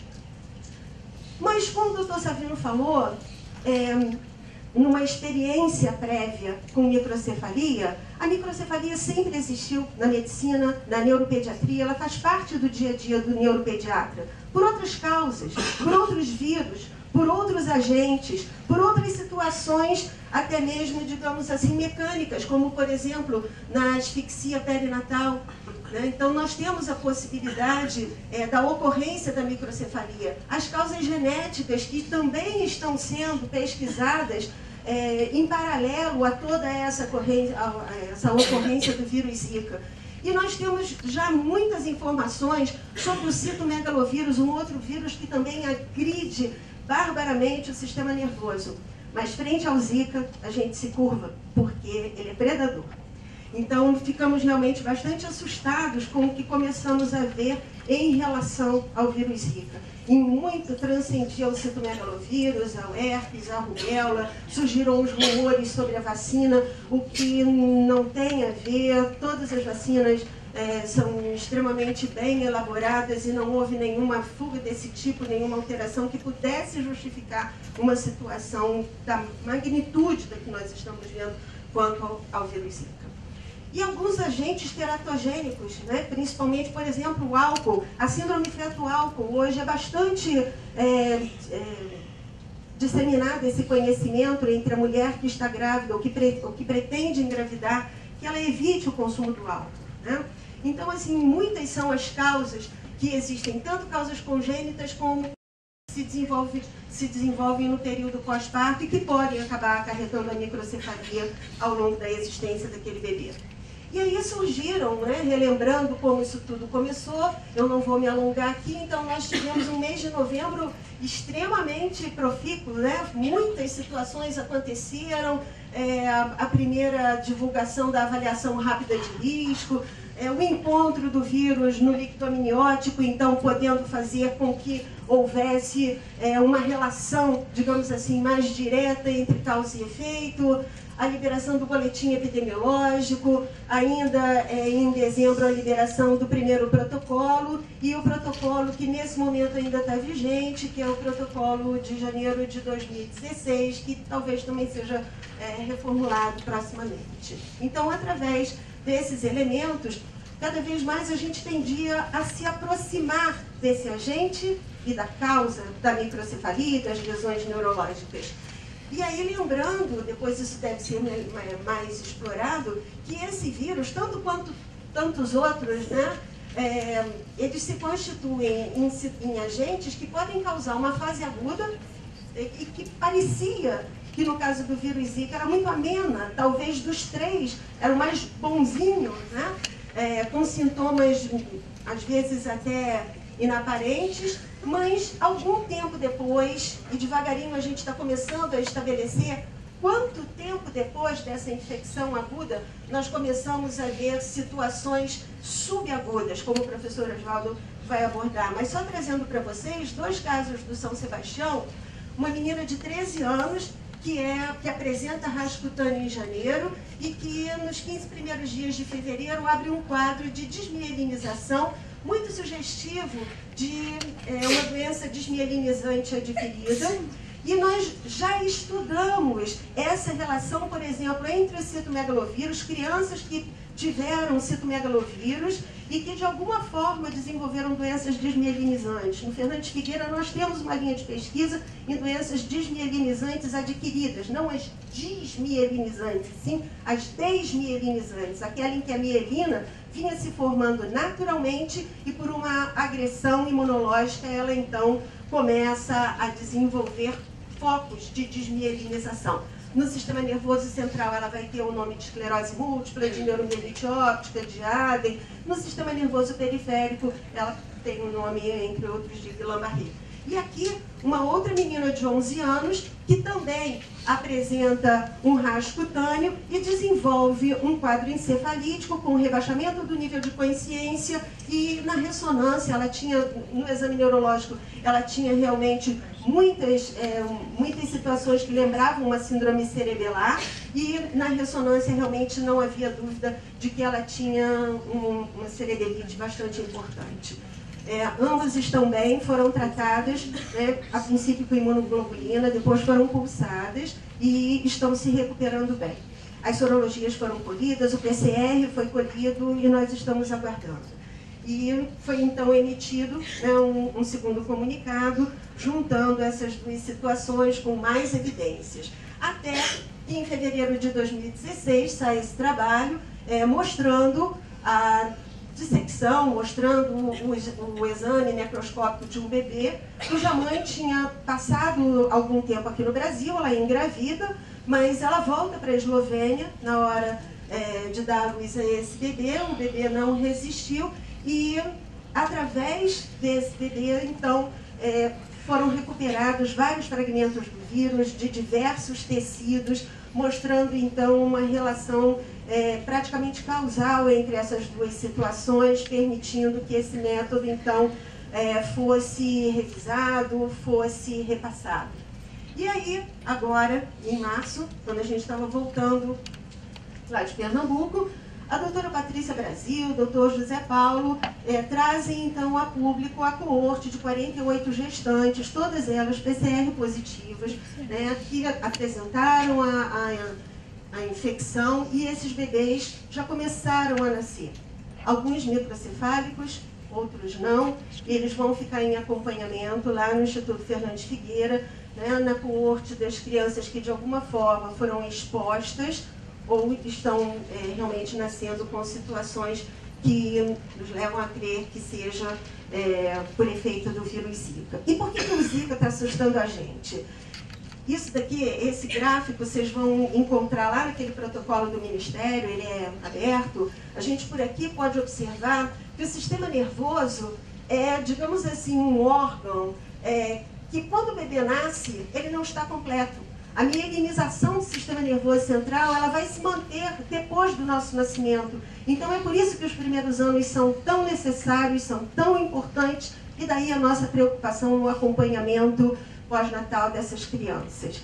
Então, quando é, a infecção do Zika acontece nas primeiras semanas, muitas vezes acaba ocorrendo a morte, o abortamento, mas quando ela acontece nas primeiras semanas, até a oitava semana, no primeiro trimestre, primeiro, segundo trimestre, a gente observa que o efeito dele tem sido devastador porque é exatamente aqui aonde estão sendo formadas as principais ações para a constituição de um cérebro sadio naquele embriãozinho. E isso vai se continuar até a 38ª, 40 semana, quando o nosso bebê, então, estaria nascendo a termo. Então, nessas primeiras semanas, é, levando, contribuindo para a definição de uma microcefalia, nós temos um neurotropismo muito intenso do vírus Zika. Muito maior, talvez, do, do que até mesmo o citomegalovírus, é, que já causa muita confusão para o sistema nervoso. É nessas, são nessas primeiras semanas que nós vamos ter a formação do tubo neural, o fechamento do tubo neural, o desenvolvimento do prosencéfalo, a dobradura, né, a, a sulcação desses giros, que tem assustado a gente. Né? O córtex nada mais é do que uma fronha de travesseiro. E nós não poderíamos estar todos aqui nessa sala se nós ficássemos com a nossa fronha, com o nosso córtex aberto. Então, sabiamente, a natureza foi e dobrou, amassou aquela folha. E por isso que hoje dá para o nosso córtex estar aqui dentro, em 34 centímetros de perímetro cefálico, quando o bebê nasce a termo. Então, é por isso que hoje está todo mundo aqui. E aí, quando a gente para para pensar, o bebê a termo nasce com 34. No primeiro ano de vida, ele chega a 44. E depois, entre 9 e 10 anos, a gente chega a 56, 57. Então, assim, no primeiro ano de vida, ele cresceu 10 centímetros e levou quase 10 anos para crescer mais 10 a 12 centímetros. Com certeza isso tem um significado, não é? Com certeza a importância dos primeiros anos é fundamental, ela é total. Ela está relacionada a todo o processo de aprendizagem. E quando eu estou falando de aprendizagem, não é o abecedário, não é a continha da matemática. É aprender a viver. O que, que aquele bebê vai ter que fazer para se adequar a todo o meio e poder, então, é, sair para a vida num ambiente aeróbico, já que ele passou nove meses como peixe dentro da barriga da mãe dele. Nesse momento também vai estar acontecendo a proliferação neuronal, a migração neuronal, que tem sido extremamente prejudicada do momento que o, que o Zika se apresenta, e a mielinização, que ainda vai continuar durante algum tempo. Então, com isso, nós tivemos é, os primeiros trabalhos, o trabalho da doutora Adriana de Campina Grande, muito elegante, mostrando é, por ultrassonografia como acontecia essa calcificação. Aqueles bebês, aqueles bebês que foram notificados como microcéfalos, uma microcefalia diferente da que até então a gente estava vendo, eles, eles mantinham, parecia que eles tinham um padrão de, de calcificação diferente do que até então estava se vendo. E o que eu falei para vocês, isso causou até mesmo modificação na reconstrução tridimensional dos ossos do crânio, parece que se forma um plastrão, como se de alguma forma o occipital ainda conseguisse dar resposta a esse crescimento, mas os parietais desabam. E aqui está um, talvez o maior problema disso tudo, né? um aplanamento de lobo frontal. E quando a gente pensa na importância do nosso lobo frontal para todos os mecanismos de aprendizagem, de memória, de afetividade, né, de comportamento social, só mostrando o que, que a gente vai ter pela frente. Então, isso fez com que a gente aprofundasse ainda mais e começaram a surgir vários outros estudos querendo saber como é que estavam essas calcificações. E aí aqui a gente vê uma outra situação. Tanto no citomegalovírus como na toxoplasmose, nós temos calcificações que são periventriculares. Mas aqui a gente tem muito mais um padrão que, que parece ser, desculpa, que parece ser é, de uma invasão do córtex mesmo. Em alguns momentos a gente ficava em dúvida, será que é periventricular? Depois a gente viu que não, que na verdade o córtex é que ficou tão agredido, ele é tão fininho, ele é tão exíguo, que na verdade as calcificações não eram periventriculares, o córtex é que estava muito pequenininho. Então aqui a gente tem a possibilidade de ver um caso de hidrocefalia, calcificações dos núcleos da base, e aqui um bebê, na ampola do, do, aparelho de tomografia, a gente consegue ver exatamente a desproporção que existe entre os ossos do crânio e a face desse bebê. Né? E aqui é, o desaparecimento, o aplanamento do lobo frontal. Outra possibilidade, ó, novamente, aqui a gente já consegue enxergar um pouco melhor o córtex e observa que realmente a região periventricular está um pouco mais poupada. E aí nós começamos a aprofundar ainda mais. As primeiras crianças chegaram em novembro, mais ou menos, e foram dois bebezinhos que chegaram já muito comprometidos com uma, uma, uma microcefalia. Eram dois bebês nascidos a termo. E eu falei para vocês que, em geral, a menina nasce com 34, o menino nasce com 35, e nós recebemos uma menina e um menino. A menina com 29 centímetros e o menino com 28 centímetros né, que justamente é, mostrando tudo que a gente tinha pela frente. Esse bebê, desde tenra idade, desde os primeiros dias de vida, observem a desproporção. Ele nasceu a termo, ele tinha 29 centímetros de perímetro cefálico contra 40, que seria, contra 34, que seria o normal. Ele nasceu com 3,50 kg. Então, daí a tal desproporção que a gente mostra né, da necessidade de acompanhar isso. Ele nasceu relativamente bem, com índice vital bom. Curiosamente, essa mãe tinha todo o torche negativo, HIV negativo, mas ela tinha uma sorologia para dengue positiva e depois surgiram várias outras informações mostrando que poderia haver essa reação cruzada. E o que chamava atenção, esse bebê, ele era muito espástico, a gente conhecia isso do citomegalo, da toxo, da rubéola, mas ele tinha um exame neurológico que muito parecia mais adiantado do que, do que aquela situação que a gente já via na microcefalia do citomegalo. O eletroencefalograma dessas crianças começou a aparecer muito, muito alterado, de tal forma que hoje o nosso amiguinho, com 3 meses e 12 dias de vida, ele já está em uso de duas drogas anticonvulsivantes para a gente tentar diminuir o ônus desse cérebro com as crises convulsivas. E aí a gente aprofundou um pouquinho mais isso. Vamos ver o que, que a consegue trazer para a gente. Se a tomografia descreve melhor as calcificações, talvez a ressonância nos ajude a estudar um pouco mais esse córtex. E é aí que o doutor Savino diz que a gente está tendo um momento de muita riqueza para o estudo das neurociências, principalmente quando a gente pensa nas novas tecnologias de imagem que estão ficando mais acessíveis. A gente hoje já tem aparelhos de alto campo, como as ressonâncias de 3 Tesla, e experimentalmente a gente já tem um aparelho de 7 Tesla no território nacional que muito vai poder ajudar a gente na estratificação dessas camadas corticais para a gente entender o que está acontecendo com elas. Então, através de, dessas ressonâncias, essa ressonância é, é fresquinha, né? ela é de segunda-feira, foi o nosso primeiro bebê que foi submetido à ressonância magnética, a gente observa que a fossa posterior, o cerebelo ele ainda está bem é, adequado, especificamente nesse bebê, mas nós já temos outros bebês que nasceram faltando partes do cerebelo. Agora, a parte de cima, a parte, a parte do encéfalo, dos hemisférios propriamente dito, a gente observa que o lobo frontal sumiu e que o que a gente chama de hemisférios cerebrais também foi extremamente simplificado. Então, isso aqui ele tem cerebelo, mas o que realmente faz com que a gente tenha um diferencial da cognição está extremamente comprometido.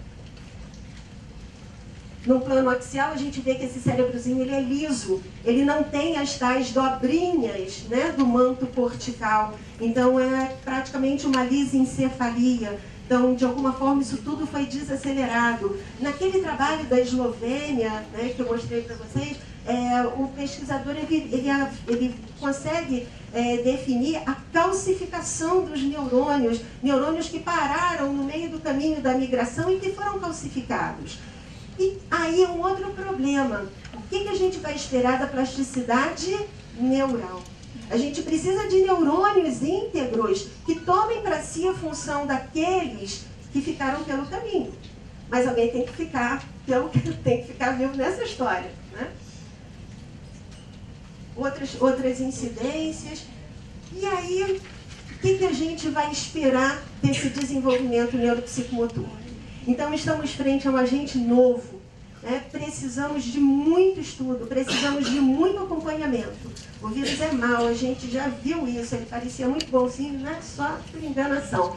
Mas tem algumas respostas que continuam é, sendo feitas, que continuam no ar. Será que todo mundo, que todas as mães, isso a gente já, já sabe, que quanto menor a idade gestacional daquela paciente quando ela foi infectada, menor o perímetro cefálico do feto que ela está gerando. Mais grave vai ser a microcefalia. Mas será que vai ser sempre assim? Então, por isso que mesmo os bebês que estão nascendo com a exposição, com o relato clínico de que essa mãe tenha tido o rascutâneo, enquanto esses exames não chegam, ainda que esse bebê tenha nascido com perímetro cefálico adequado, esses bebês estão sendo acompanhados e eles também estão nos dando algumas respostas que nós vamos ver. Objetivamente, o que, a gente tem visto? Que na ponta do iceberg, né, se a gente interpretar o fundo de olho, a pontinha do nervo óptico, como a ponta do que a gente consegue ver do cérebro, a gente fica mais preocupado ainda, porque é, doutor Andréazinha, assim como outros pesquisadores oftalmologistas, têm observado atrofia neuroretiniana em diversos graus, a existência de colobomas que praticamente acabam com a função retiniana, casos de amaurose, casos de surdez. Então a gente vê que a estimulação neurosensorial dessas crianças vai estar muito comprometida, a percepção do mundo vai estar muito comprometida. A gente vai precisar aguçar outros sentidos desses bebês. Lesões cerebrais, a gente já falou um pouquinho sobre elas, as calcificações, a hidrocefalia. Chama atenção o tronco cerebral extremamente afilado. E aí é um grande problema se a gente para para pensar que é no tronco cerebral que estão funções vitais, né? como a respiração, como o controle cardiovascular, a deglutição. Então, assim, o que, que a gente vai ter pela frente? A espasticidade extrema desses bebês e as crises convulsivas refratárias ou a definição de síndromes epiléticas mais graves. E esse aqui é um slide que é bastante clássico dentro da neuropediatria. Sempre que possível a gente tenta fechar o diagnóstico de uma síndrome epilética, síndrome de West, síndrome de Lennox-Gastaut, síndrome de Luz, enfim. De que forma aquela síndrome se apresenta, não apenas uma crise convulsiva, a gente observa que o nosso bebê, ele tem várias pedrinhas do quebra-cabeça que estão inadequadas. Então, os achados do eletroencefalograma são muito comprometidos, o exame neurológico dessa criança é muito inadequado, os achados da ressonância magnética não dão muita muita perspectiva né, para esse desenvolvimento, da onde a gente vai então lidar, como a gente vai lidar com a plasticidade neural, quais são os tipos de crise. Muitas vezes eles chegam numa semana com crise tônico-clônica, na outra semana eles já chegam fazendo espasmos, espasmos de inflexão, que são crises sensivelmente mais graves. Então, qual o tipo de crise inicial? Então, assim, vem se caracterizando um quadro de epilepsia refratária, o que vai impor a utilização de muitas drogas. Aí eu vou precisar é, do colega para acionar o vídeo. É só clicar em cima, vai aparecer a habilitação e isso. Pode clicar. Então aqui é aquele bebezinho que nasceu bem, que nasceu com 39 semanas, mas que a gente sabia que ele era microcefálico. Num primeiro momento, com 24 dias de vida, a gente faz uma primeira verificação do eletroencefalograma dele e observa um elétron de muito, muito baixa voltagem. O próximo, por favor.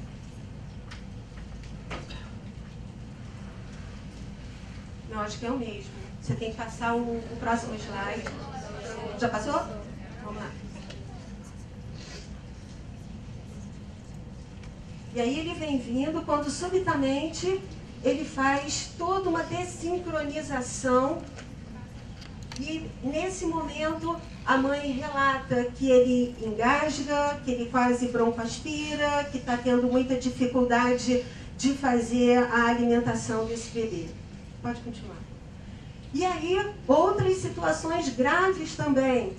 Bebês que nitidamente são microcefálicos, eu peço que esses vídeos não sejam é, de alguma forma repassados. Né? Nós temos figuras das nossas crianças, a gente está preservando absolutamente muito bem a identidade dessas crianças. Se vocês têm visto alguma criança na mídia, alguma família na mídia, não é o Instituto Fernandes Figueira que está é, fornecendo o contato com as famílias. Tá? Então, Aqui a gente vê uma outra situação, pode rodar. Então, no primeiro momento foi tudo bem, mas quando ela está no sono quieto, observem o tipo de espasmo que esse bebê vai fazer.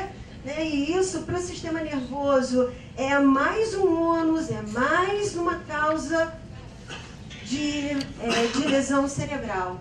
Pode seguir. Esses dois bebês, nós já sabíamos que eles eram microcefálicos. Pela disfunção do tronco cerebral que eu citei, nós vamos ter uma dificuldade ou ausência de sucção, isso já está aparecendo, então a fonoaudiologia voltada para a deglutição, ela tem que entrar logo né, na clínica de reabilitação desses bebês, porque eles têm uma grande incoordenação para deglutição, eles têm tendência à broncoaspiração, o que vai acabar acarretando um grande número de crianças gastrostomizadas. Então, a fonoaudiologia pode ajudar a postergar um pouco mais a definição da gastrostomia, a indicação.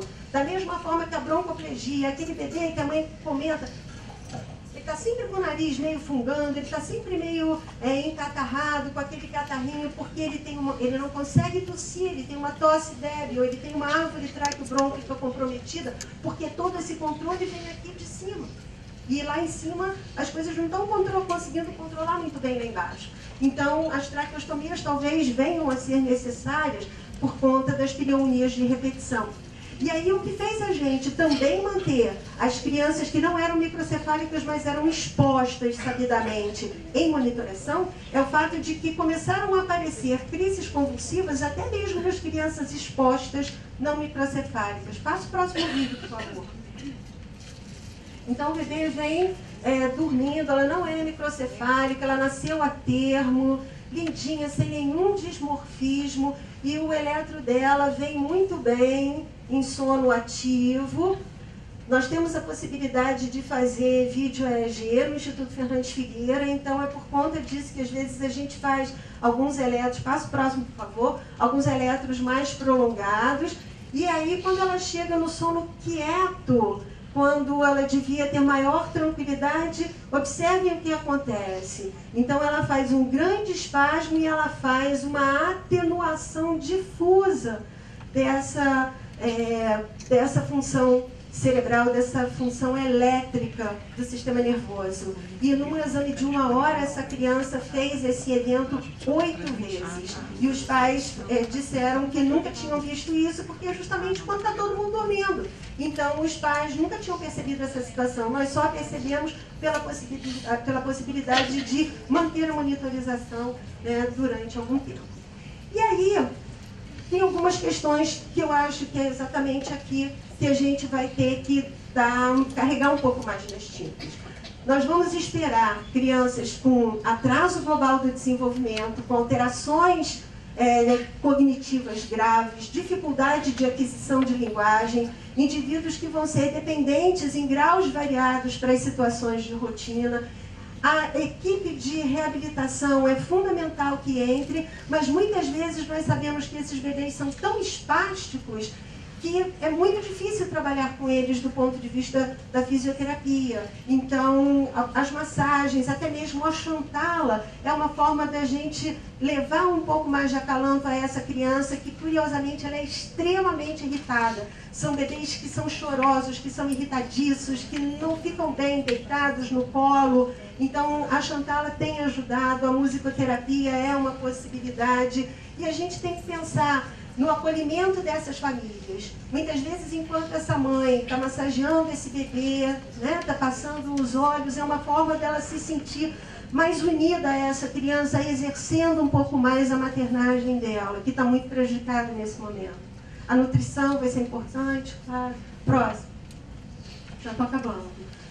Os estudos que vão ser necessários, aonde a gente está podendo, então, onde está podendo é, ter mais é, essa busca nas pesquisas sobre o neurodesenvolvimento, principalmente através das ressonâncias magnéticas, nos estudos neurofisiológicos, o vídeo é, é extremamente importante para a gente fazer o diagnóstico diferencial, se aquele tremor que a criança tem é apenas um clonus pela hipertonia dela, ou se objetivamente é uma crise convulsiva, os potenciais evocados que vão nos ajudar a explorar um pouco mais os órgãos dos sentidos, a visão, né, a, audição, os exames oftalmológicos, no futuro, a testagem neuropsicológica dessas crianças para definição é, do conteúdo cognitivo, o papel do neuropediatra, principalmente a gente vai ter que explorar mais novas drogas, novas técnicas anticonvulsivantes, principalmente através do estimulador vagal, talvez seja uma possibilidade.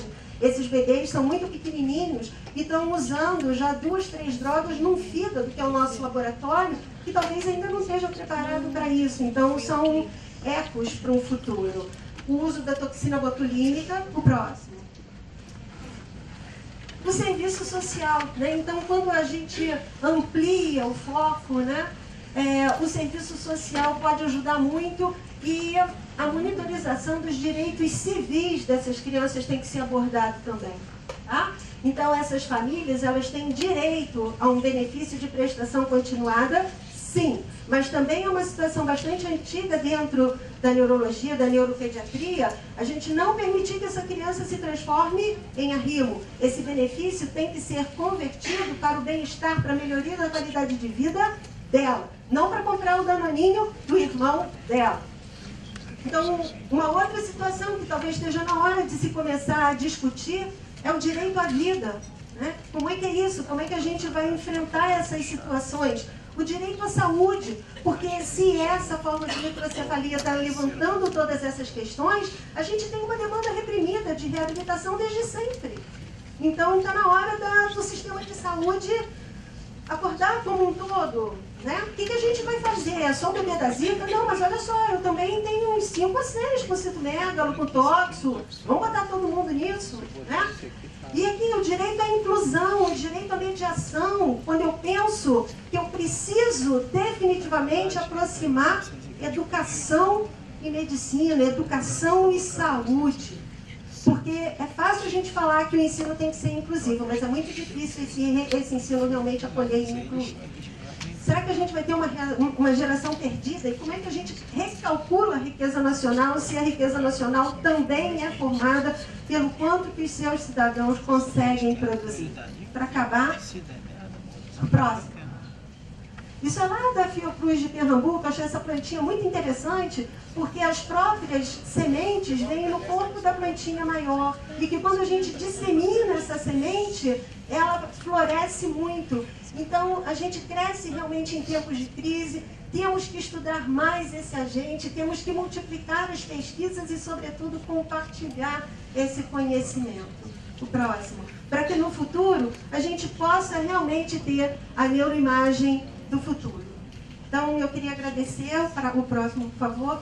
É, tudo isso é fruto da equipe né, do Instituto Fernandes Figueira, da, da neuropediatria e o, o nosso a pessoa que nos inspira, né, doutor Leonardo Azevedo, que sempre foi assim o, o, nosso mestre maior e toda a equipe, e aqui nós temos os neurofisiologistas, as fonoaudiólogas, a fisioterapeuta, os nossos alunos, né, os, enfim, todo mundo que ajuda a manutenção e a melhoria de qualidade de vida para essas crianças. Muito obrigada.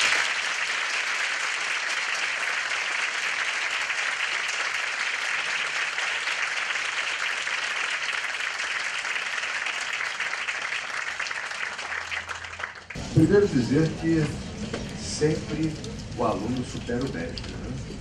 Não, a Tânia sempre foi uma colega excepcional, uma pesquisadora desde, desde idade, quando se dedicava à neurologia. Então, fico muito feliz, primeiro de poder estar aqui, que aqui é praticamente a minha casa. Eu comecei no terceiro ano de medicina, frequentando o Instituto Paulo Cruz, o saudoso Alexandre Alencar estão estudando exatamente a doença de Chagas. Eu tive a oportunidade, inclusive, de descrever a polineuropatia somática da doença de Chagas em 1990. Então, isso é interessante porque a gente cria na nossa alma, no nosso ego, o interesse pela pesquisa. Então, essa oportunidade de estar aqui com vocês, jovens que estão começando, eu posso dizer a vocês que eu me junto, como sempre falaram aqui desde cedo, nós continuamos aprendizes, continuamos alunos.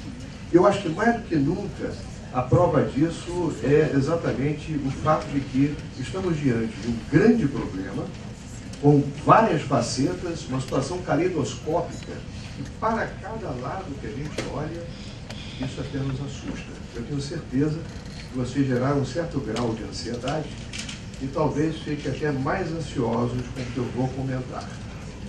Porém, antecipo que a história da humanidade sempre foi assim. Sempre ocorreram as pragas, as pestes, enfim, e nós estamos aqui. E o homem nunca viveu tão bem como agora e com expectativa de viver em futuro. Isso graças às possibilidades que nós temos hoje da investigação. E essa casa realmente é um centro em que é um celeiro em que nós podemos desenvolver projetos muito importantes e eu agradeço a oportunidade, de novo falo isso, estar aqui com vocês. Agradeço ao Paulo Gadelha, um amigo, mas acima de tudo um homem que tem a visão do macro, da ciência no Brasil, e do micro, da intimidade. Vejam a beleza de material que o Marcos nos trouxe hoje aqui e certamente nos anima muito, porque nós vamos precisar, todos nós, de um marcador mais definido, mais definitivo. Então, eu gostaria de começar agradecendo um cara que é um parceiro e tanto, Pedro de Sandália de Pedro, meu calçadinho, até que achou esquisito no paletó, não sabia dizer que e é meu amigo Sadinho. Então eu fiquei muito feliz quando é, nós chegamos juntos lá na Universidade Federal Fluminense, no Hospital Antônio Pedro, em que graças também a uma condição de pesquisa que tivemos a Fiocruz e a USP Ribeirão Preto como colaboradores, que fomos estudo da lepra, e o problema da dor na lepra nesse país é uma doença seríssima, né? e por isso construímos uma unidade de pesquisa clínica, a NeuroPC, que certamente acabou sendo um denominador comum para o interesse voltado para o problema dessas condições que aparecem no adulto relacionadas à infecção pelo vírus Zika. Eu vou começar com uma provocação. Eu estava aqui sentado E todos nós, hoje em dia, o que mais fazemos é isso aqui. Ó. Ficar olhando o WhatsApp. Certamente todo mundo, mais na hora da fome. E aí, você vai almoçar onde? Como é que está? Hoje é sexta-feira, qual o programa do fim de semana? Eu sei que o interesse da matéria é grande. Mas eu recebi aquilo ali hoje. Bom dia, doutor Oswaldo. Desculpa incomodar. Mas hoje minha mãe não consegue andar. Ela sente muita dor. Não anda, só arrasta os pés com ajuda e mesmo assim com muita dor. O que podemos fazer? Essa moça apresentou um quadro, é uma mulher de 39 anos, apresentou um quadro de fraqueza distal, fraqueza nos pés, pegou as pernas, coxa, os braços e depois então apresentou paralisia facial e dormência também com esse caráter ascendente. Esse é o quadro clássico da síndrome de Guillain-Barré. A questão é que essa senhora, de repente, melhorou com a imunoglobulina, tem uma resposta muito boa, só que, mais recentemente, a paralisia facial, que já havia recuperado, ela volta a apresentar a paralisia facial. Isso há cerca de mais ou menos 20 dias. E hoje eu recebo esse informe. E por que, que eu pergunto da ressonância? Quando se fala na síndrome Barreto, todo mundo fala, bom, classicamente o diagnóstico é feito pelo exame do líquido cefalorraquiano e pela eletroneurografia, ou a condução nervosa. E por que o camarada vai pedir uma ressonância? Então, o que, teria a ver?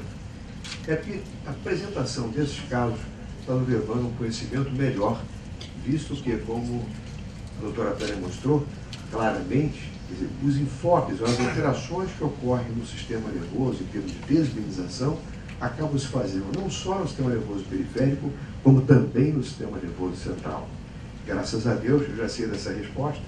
Dizer, não houve nenhuma alteração, a ressonância foi uma ressonância de neuroeixo, de 3 Tesla, em que não mostrou nenhuma alteração nem de raiz. Então isso já ajuda um pouco a essa senhora em termos de prognóstico, porque outros casos apresentam lesão central e periférica na ressonância. Ou seja, um novo curso de imunoglobulina vai ser importante para essa senhora. O que quer dizer o quê? Isso é o Guillain-Barré? Não, já deixou de ser. Passou a ser uma doença crônica. Então, duas questões eu vou mostrar para vocês. Uma é a questão da infecção aguda em que eu tenho uma neurite aguda. Alguém aqui na sala, quantos já tiveram infecção aguda pelo Zika? Levante o braço, por favor. Vejam que nessa população toda. Hã? Eu estou com dois casos. Dois casos. Perfeito. Então temos aqui, nessa população aqui, esse auditório cabe em quanto em total? Hein? 120 deve estar com 150, que tem uma turma lá atrás em pé, apenas 5 levantaram um braço com dois sete. Então vamos prestar um pouquinho atenção nisso. Por quê? Porque senão ficamos apavorados com tudo isso que vocês viram aqui e a gente começa a ficar imobilizado. Não fiquem imobilizados de modo algum. Mas o que eu quero dizer é que a condição, ela ocorre, ela pode ter um momento isolado, o indivíduo teve um quadro agudo, começa a ter dormência nas mãos, dormência ou dor nos pés, na fase aguda da infecção, do exantema, eh, do aparecimento da, da, da conjuntivite. Isso caracteriza uma neurite aguda, infecciosa, como acontece com qualquer outra condição. Isso é o que a gente mais vê. Só que a população fica apavorada e fica o chefe lá da equipe de emergência do hospital me ligando, dizendo que ele vai ser demissionário se continuar aquela fila lá no hospital. Mas essa feira está acontecendo em todos os hospitais aqui no Rio de Janeiro.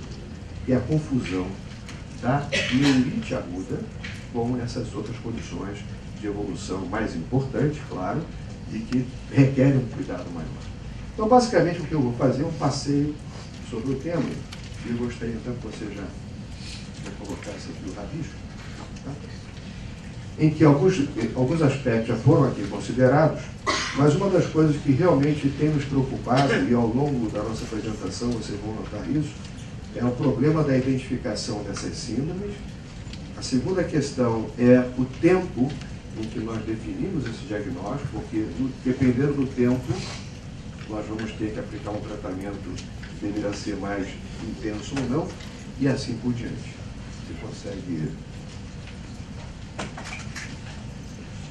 Temos situações, vou mostrar para vocês, em que, como acontece na criança, a gente não sabe se alguns mecanismos são de ordem apenas imunológico, persistir o comprometimento não só no cérebro da criança, mas pode ocorrer também em outros segmentos provavelmente, como também a própria presença ou parasitismo viral aí dessas células e como isso vai se comportar, não só na passividade naquele momento, mas como a doutora Tânia falou, ao longo depois do nascimento, mas a mesma situação também do adulto a gente tem que pensar. Está dando para identificar aí? Você perdeu o. Hã? Ele fechou? Aqui rápido, não tem problema. Aí até a tecnologia tem alguma. Eu apenas deixei aqui a apresentação porque nós temos. Essa aqui? Essa aqui é a última. Cicatriz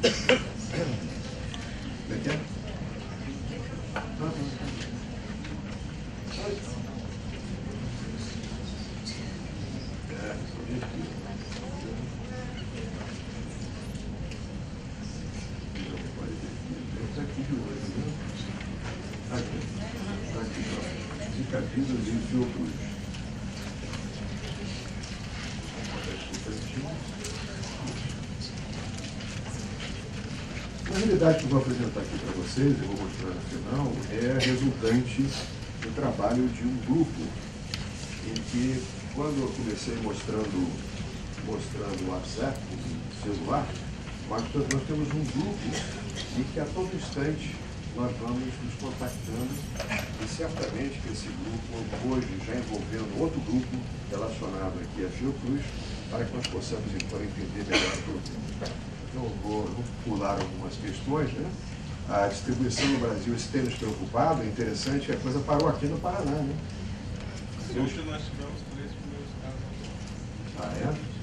Eu estive, a semana passada, sexta-feira passada, eu estive em Joinville. Por enquanto lá não têm nenhum caso, mas estão já se preparando para isso, mostrando a importância da prevenção e que se estruture o sistema de saúde local para o atendimento desses pacientes. E, Na realidade, o processo acabou ficando claro no final do ano, né? Então, notem que na região Rio de Janeiro, Minas Gerais, Espírito Santo, e particularmente Rio de Janeiro, que chamou a atenção. Em maio do ano passado, um colega me liga de Natal e manda, ou melhor, mandou um e-mail perguntando, vocês estão vendo muito caso de Guillain-Barré aí? A resposta foi não. É, porque aqui aumentou de repente o número de casos de síndrome de e esses pacientes com história prévia de infecção possível. Não deu muita bola, um negócio lá do Nordeste, vai chegar até aqui, ocupado com outras coisas, quando de repente, em janeiro, ou em dezembro, nós começamos então a ver um número acentuado. A demanda começou a aumentar de um modo alarmante, como a gente pode ver é, no slide anterior, ficou alarmante, alarmante, a ponto de hoje nós já, já temos um número de três dezenas de pacientes com esse diagnóstico. E no sul, ainda não chegou totalmente ao sul, mas já o Paraná já se identificou e daqui a pouco isso vai realmente certo, vai aumentar. O que, que nós temos visto em termos da síndrome Lambarré ou essas manifestações desminimizantes no adulto? Isso que aqui está. A faixa etária que mais é comprometida é essa aqui, do adulto jovem meia idade.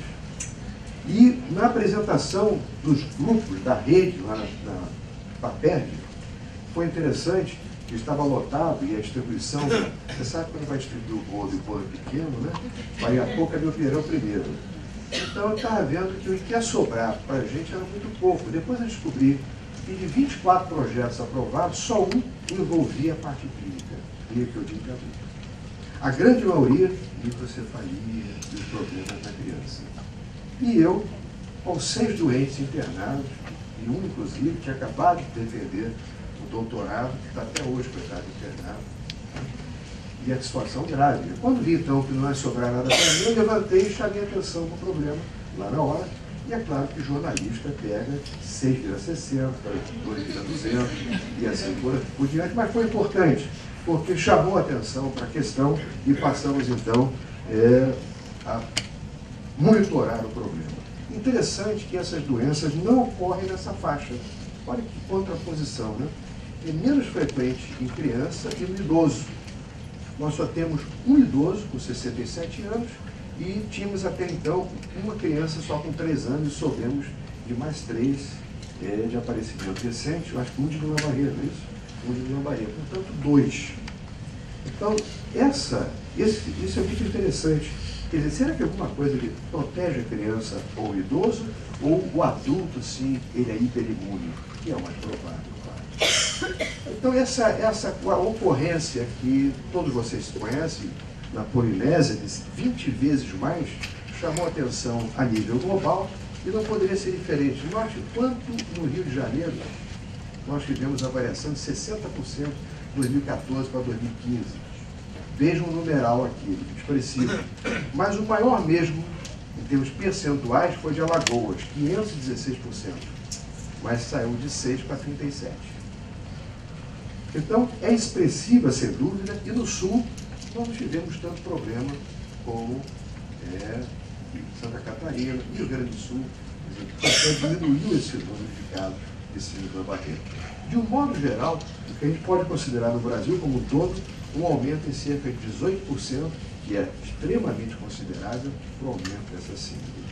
O que levou, então, a uma situação interessante em que, quando nós vimos o crescimento do número de pacientes com Vila quando a gente não sabe uma coisa muito bem, o que está acontecendo, a gente procura aqueles que já viram um pouco mais do que a gente antes. E aí, então, promovi uma reunião no Natal com o doutor Mário Liga, que ele tinha mandado e-mail, e com a doutora Lúcia Brito, lá de Recife, e mais um epidemiologista, um neuroepidemiologista, que está coordenando o estudo epidemiológico do Brasil, para que conhecêssemos melhor. E durante um sábado de manhã, isso tem cerca de 15 a 20 dias, é, nós discutimos todos os aspectos inerentes à questão do problema, não só da síndrome da barreira, como de outras condições do adulto.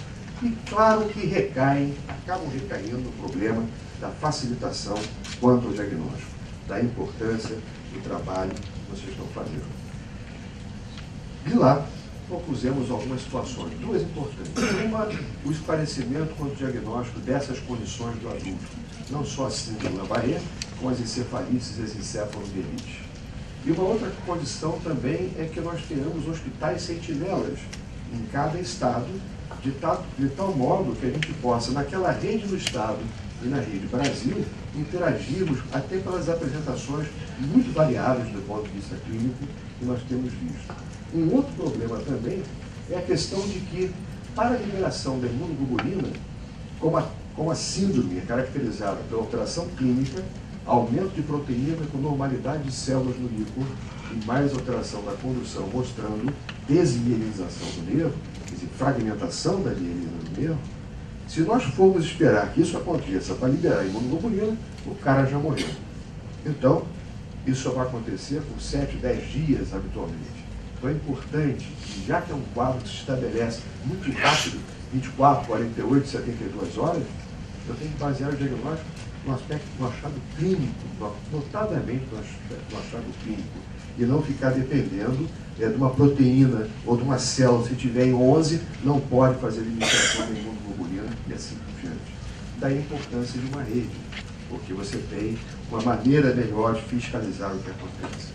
Fico muito feliz esses exames todos que nós estamos esperando os resultados vão sair muito em breve, entendeu? Depende exatamente dessa rede aqui que está fazendo esses testes. Então não tem a menor dúvida que a Fiocruz vai dar essa resposta com a maior brevidade possível. Aqui são as características clínicas, eu não vou me deter nisso, em termos da comparação de dengue, chikungunya e zika, chamar a atenção que edema extremidade, alteração do racho maculopapular e as conjuntivites é que predominam é, na situação do zika. Quais são as manifestações neurológicas que nós temos acompanhado? Além da microcefalia, muito bem aqui apresentada pela doutora Tânia, nós temos a própria síndrome da barriga e particularmente as variantes, as encefalites e as encefalomielites, o próprio quadro de Aden, encefalomielite aguda disseminada, como apresentado também pela doutora Tânia em jovem adolescente, e a meningoencefalite. Isso do ponto de vista mais geral. Mas algumas outras situações, como a polirradículo crônica, nós temos visto, nós temos visto comprometimento só no neurônio motor, um comprometimento de ponta anterior, como se fosse um quadro ela-like, nesse grupo de pacientes que não incluímos nesses 30 que consideramos como Guillain-Barré.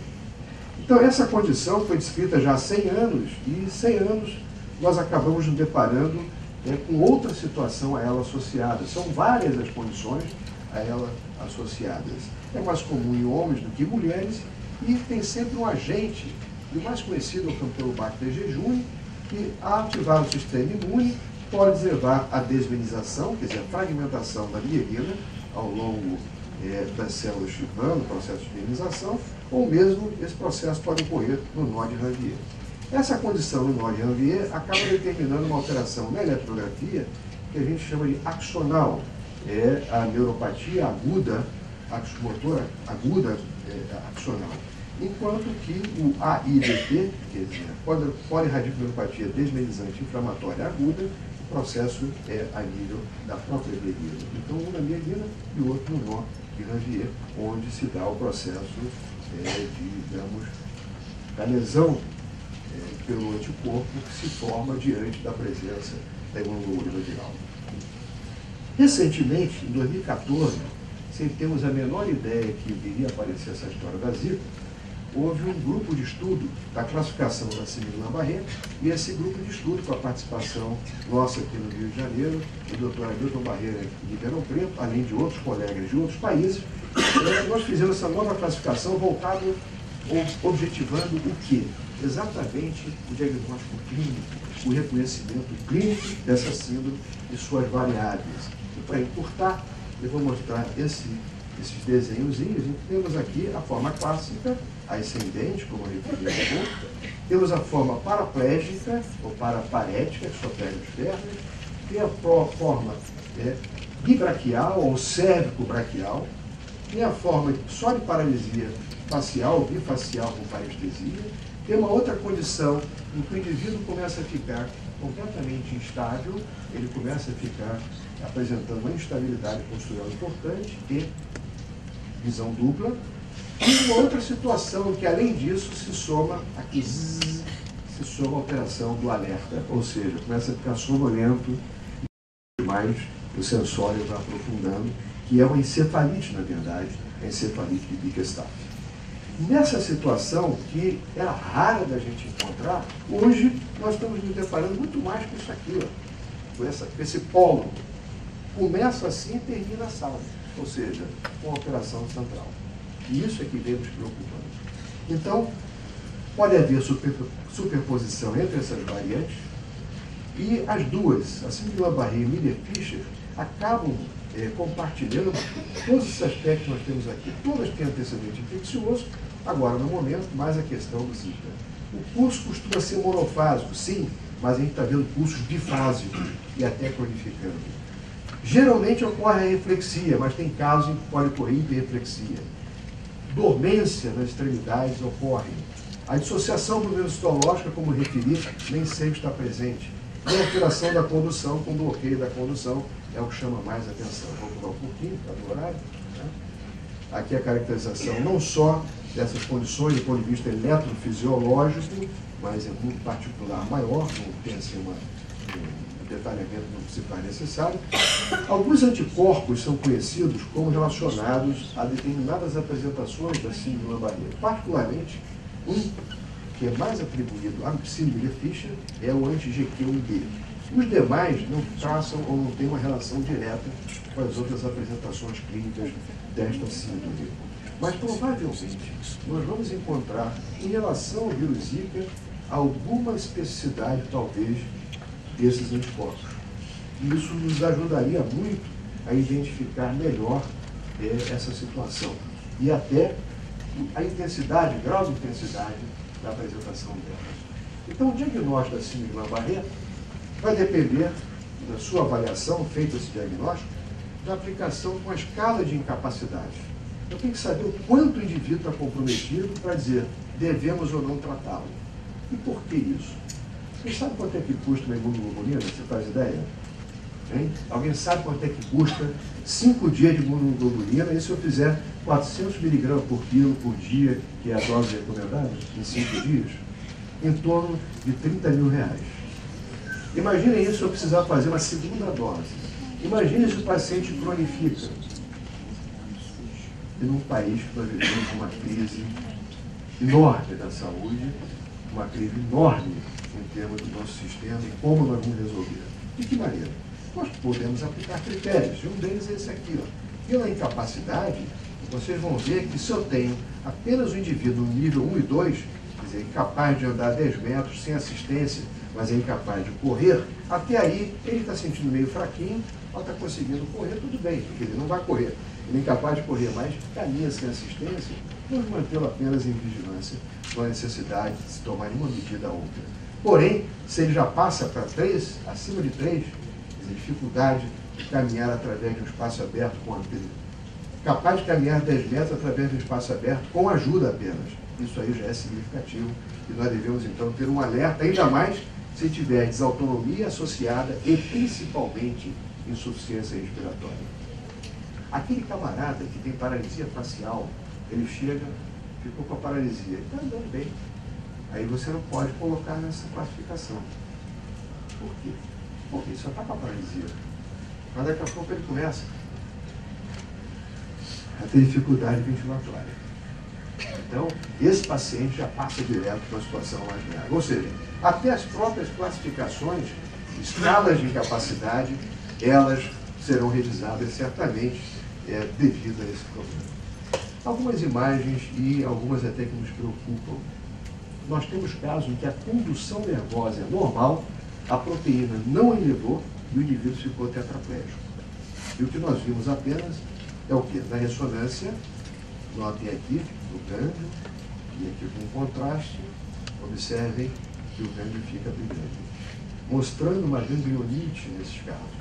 Outras situações em que a hipodensidade, por exemplo, na tomografia do crânio, em que se acentua, isso aqui é daquele rapaz que até agora continua na CPI, ele fez uma rombencefalia, com uma rombencefalite, com extensão para outros segmentos, como recentemente publicado nessa revista Neurology.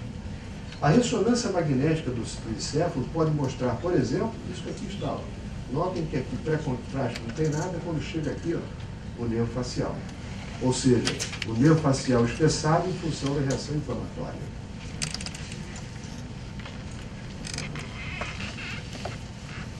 A ressonância da coluna lombar, notem com pré, que pós o contraste, notem o realce que pode ser observado. Então a ressonância pode muito nos ajudar, particularmente de 3 Tesla, a esclarecer o diagnóstico desses pacientes. Aqui, por exemplo, realce também no nervo facial, observado neste caso. Isso não tem sido, antigamente era um outro caso só que apresentava isso, e muito mais nas formas crônicas. Agora nós estamos vendo esse realce já em paciente de uma forma bem, bem aguda. Observe aqui realce de nariz, notem a musculatura paravertebral, tá? paravertebral, esse aspecto é um aspecto razoável, de normalidade, e observe o que aconteceu aqui. Ó. Nesse caso, há um realce do gânglio sensitivo e podemos notar na musculatura comprometimento muscular. Quando espeta a agulha na eletromiografia, já começa a ver um aumento de atividade de inserção. O que, que significa? A membrana irritada. Então é provável que alguns pacientes eu tenham uma neuromiopatia, comprometimento muscular também e fazendo com que aí nós tenhamos uma confínea, uma, um limite que fica difícil de precisar, que seria, será que é zika ou será que é chikungunya? Você tem que falar. Você tem que falar. Você tem que me falar porque teve um paciente que faleceu recentemente, né, um colega nosso. E, e esses casos são dramáticos, porque me manda, me liga, eu mando e-mail, enfim, e tudo se fez mas não se conseguiu, quer dizer, acabou chegando esse letal e o PCR mostrou chikungunya e não zika.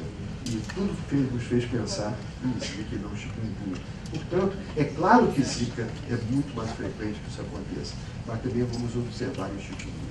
Aqui outras situações, então são várias, em que vocês acabam encontrando desmenização, mesmo nesse grupo de pacientes, ou até mesmo situações de desmenização extensa em quadro de encefalomielite aguda disseminada, como nós estamos vendo aqui. Então, várias possibilidades de pesquisa existem para o conhecimento melhor do que ocorre nesse grupo de pacientes, e, notablemente, eh, algumas situações até nos dificultam como entender.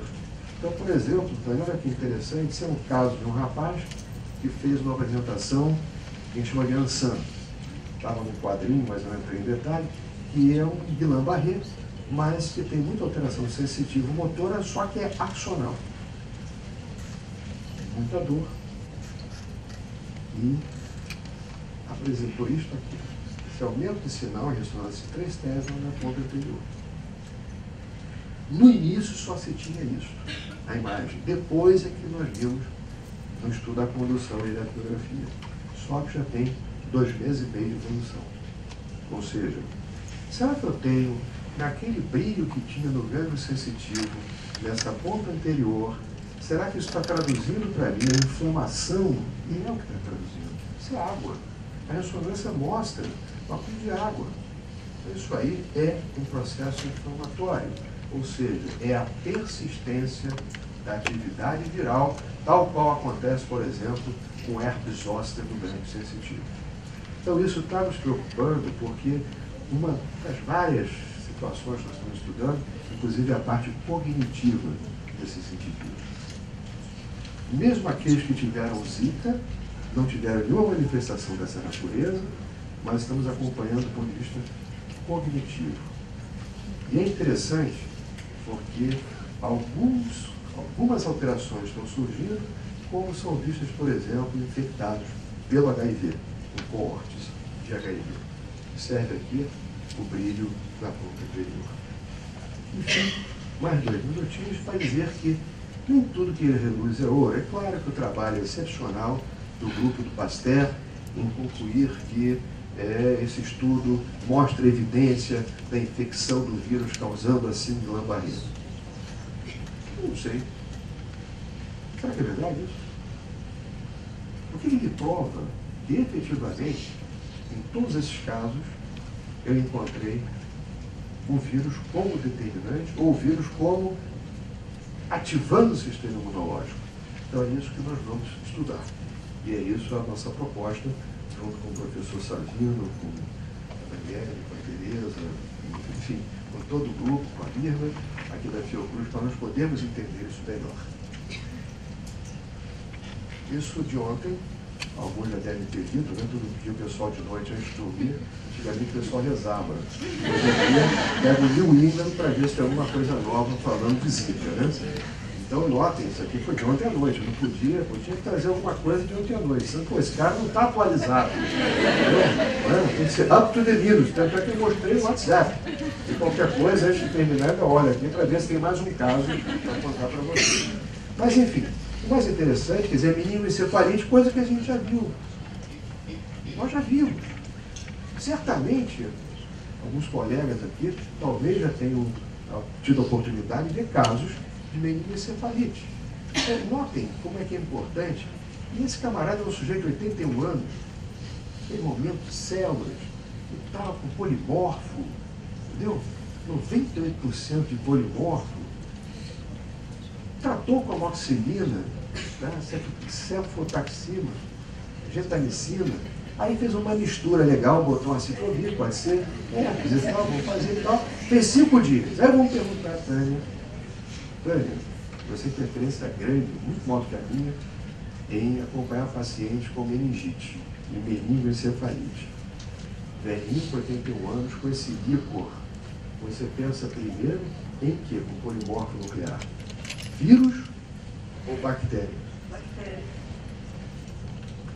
bactéria. Bactéria, aquilo ali, a moxicilina, cefalexina e a gentamicina, por cinco dias derruba qualquer uma, até o com 81 anos, e o camarada então melhorou. E aí está lá, isso aí está no New England. Eu pensei, mas eu vou botar esse slide, mas é claro que a gente precisa estudar melhor, é claro que isso acontece, mas tinha um PCR positivo. Então, PCR positivo, isso me faz reportar uma vez um colega, um, um colega da Austrália, isso não dizer quanto tempo, alguns anos. Então, é, ele fez um estudo mostrando que a polimiosite era causada por vírus. Por quê? Nas biópsias encontraram a partícula viral. Se eu cair duro aqui agora, vocês vão encontrar um monte de vírus. Agora, saber da atividade dele, da atuação, é por isso que eu estou atenuando um pouquinho aquele terror que a gente acaba criando, mostrando que essa relação é definida. Aqui foi desse paciente, apenas mostra esse trabalho que é importante a imagem, né, mostrando sinais a nível é, da porção cortical, exatamente do revestimento benigno desse nível, inclusive a nível é, dos vasos, o dono examininja comprando o vaso e determinando a modificação do, do formato vascular. Muito interessante que eu achei, no entanto, eu fui dormir satisfeito. Realmente, assim, não, valeu a pena. E é, valeu a pena. A. Posso ir? Posso ir. Que foi esse trabalho avaliando essas causas de desordens publicadas e avaliou-as avaliou todas. E até desses caras lá da Polinésia. Eu fiquei, pô, os caras disseram que é mesmo, acabou, não tem mais papo, não tem conversa, ponto final. Negativo. Quer dizer, mostra que é uma associação, mas ninguém é, chegou e procurou fazer estudo de outras condições.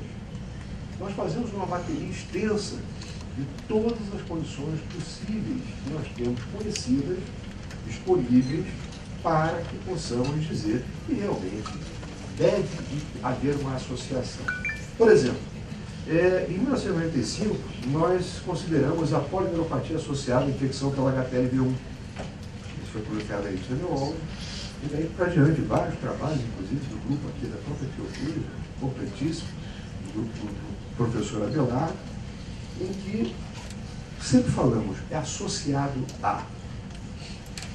É importante que conheçamos melhor o comportamento desses vírus. Eu me lembro que eu peguei o material da, de nervo desses pacientes e mandei para o Dr. Kira no Japão. Aí o doutor Kira disse, olha, tudo positivo. Mas o problema é, será que não está circulando? Será que não está no, no capilar? E é realmente isso que acontece. Então, a gente precisa ter um cuidado maior nessas interpretações.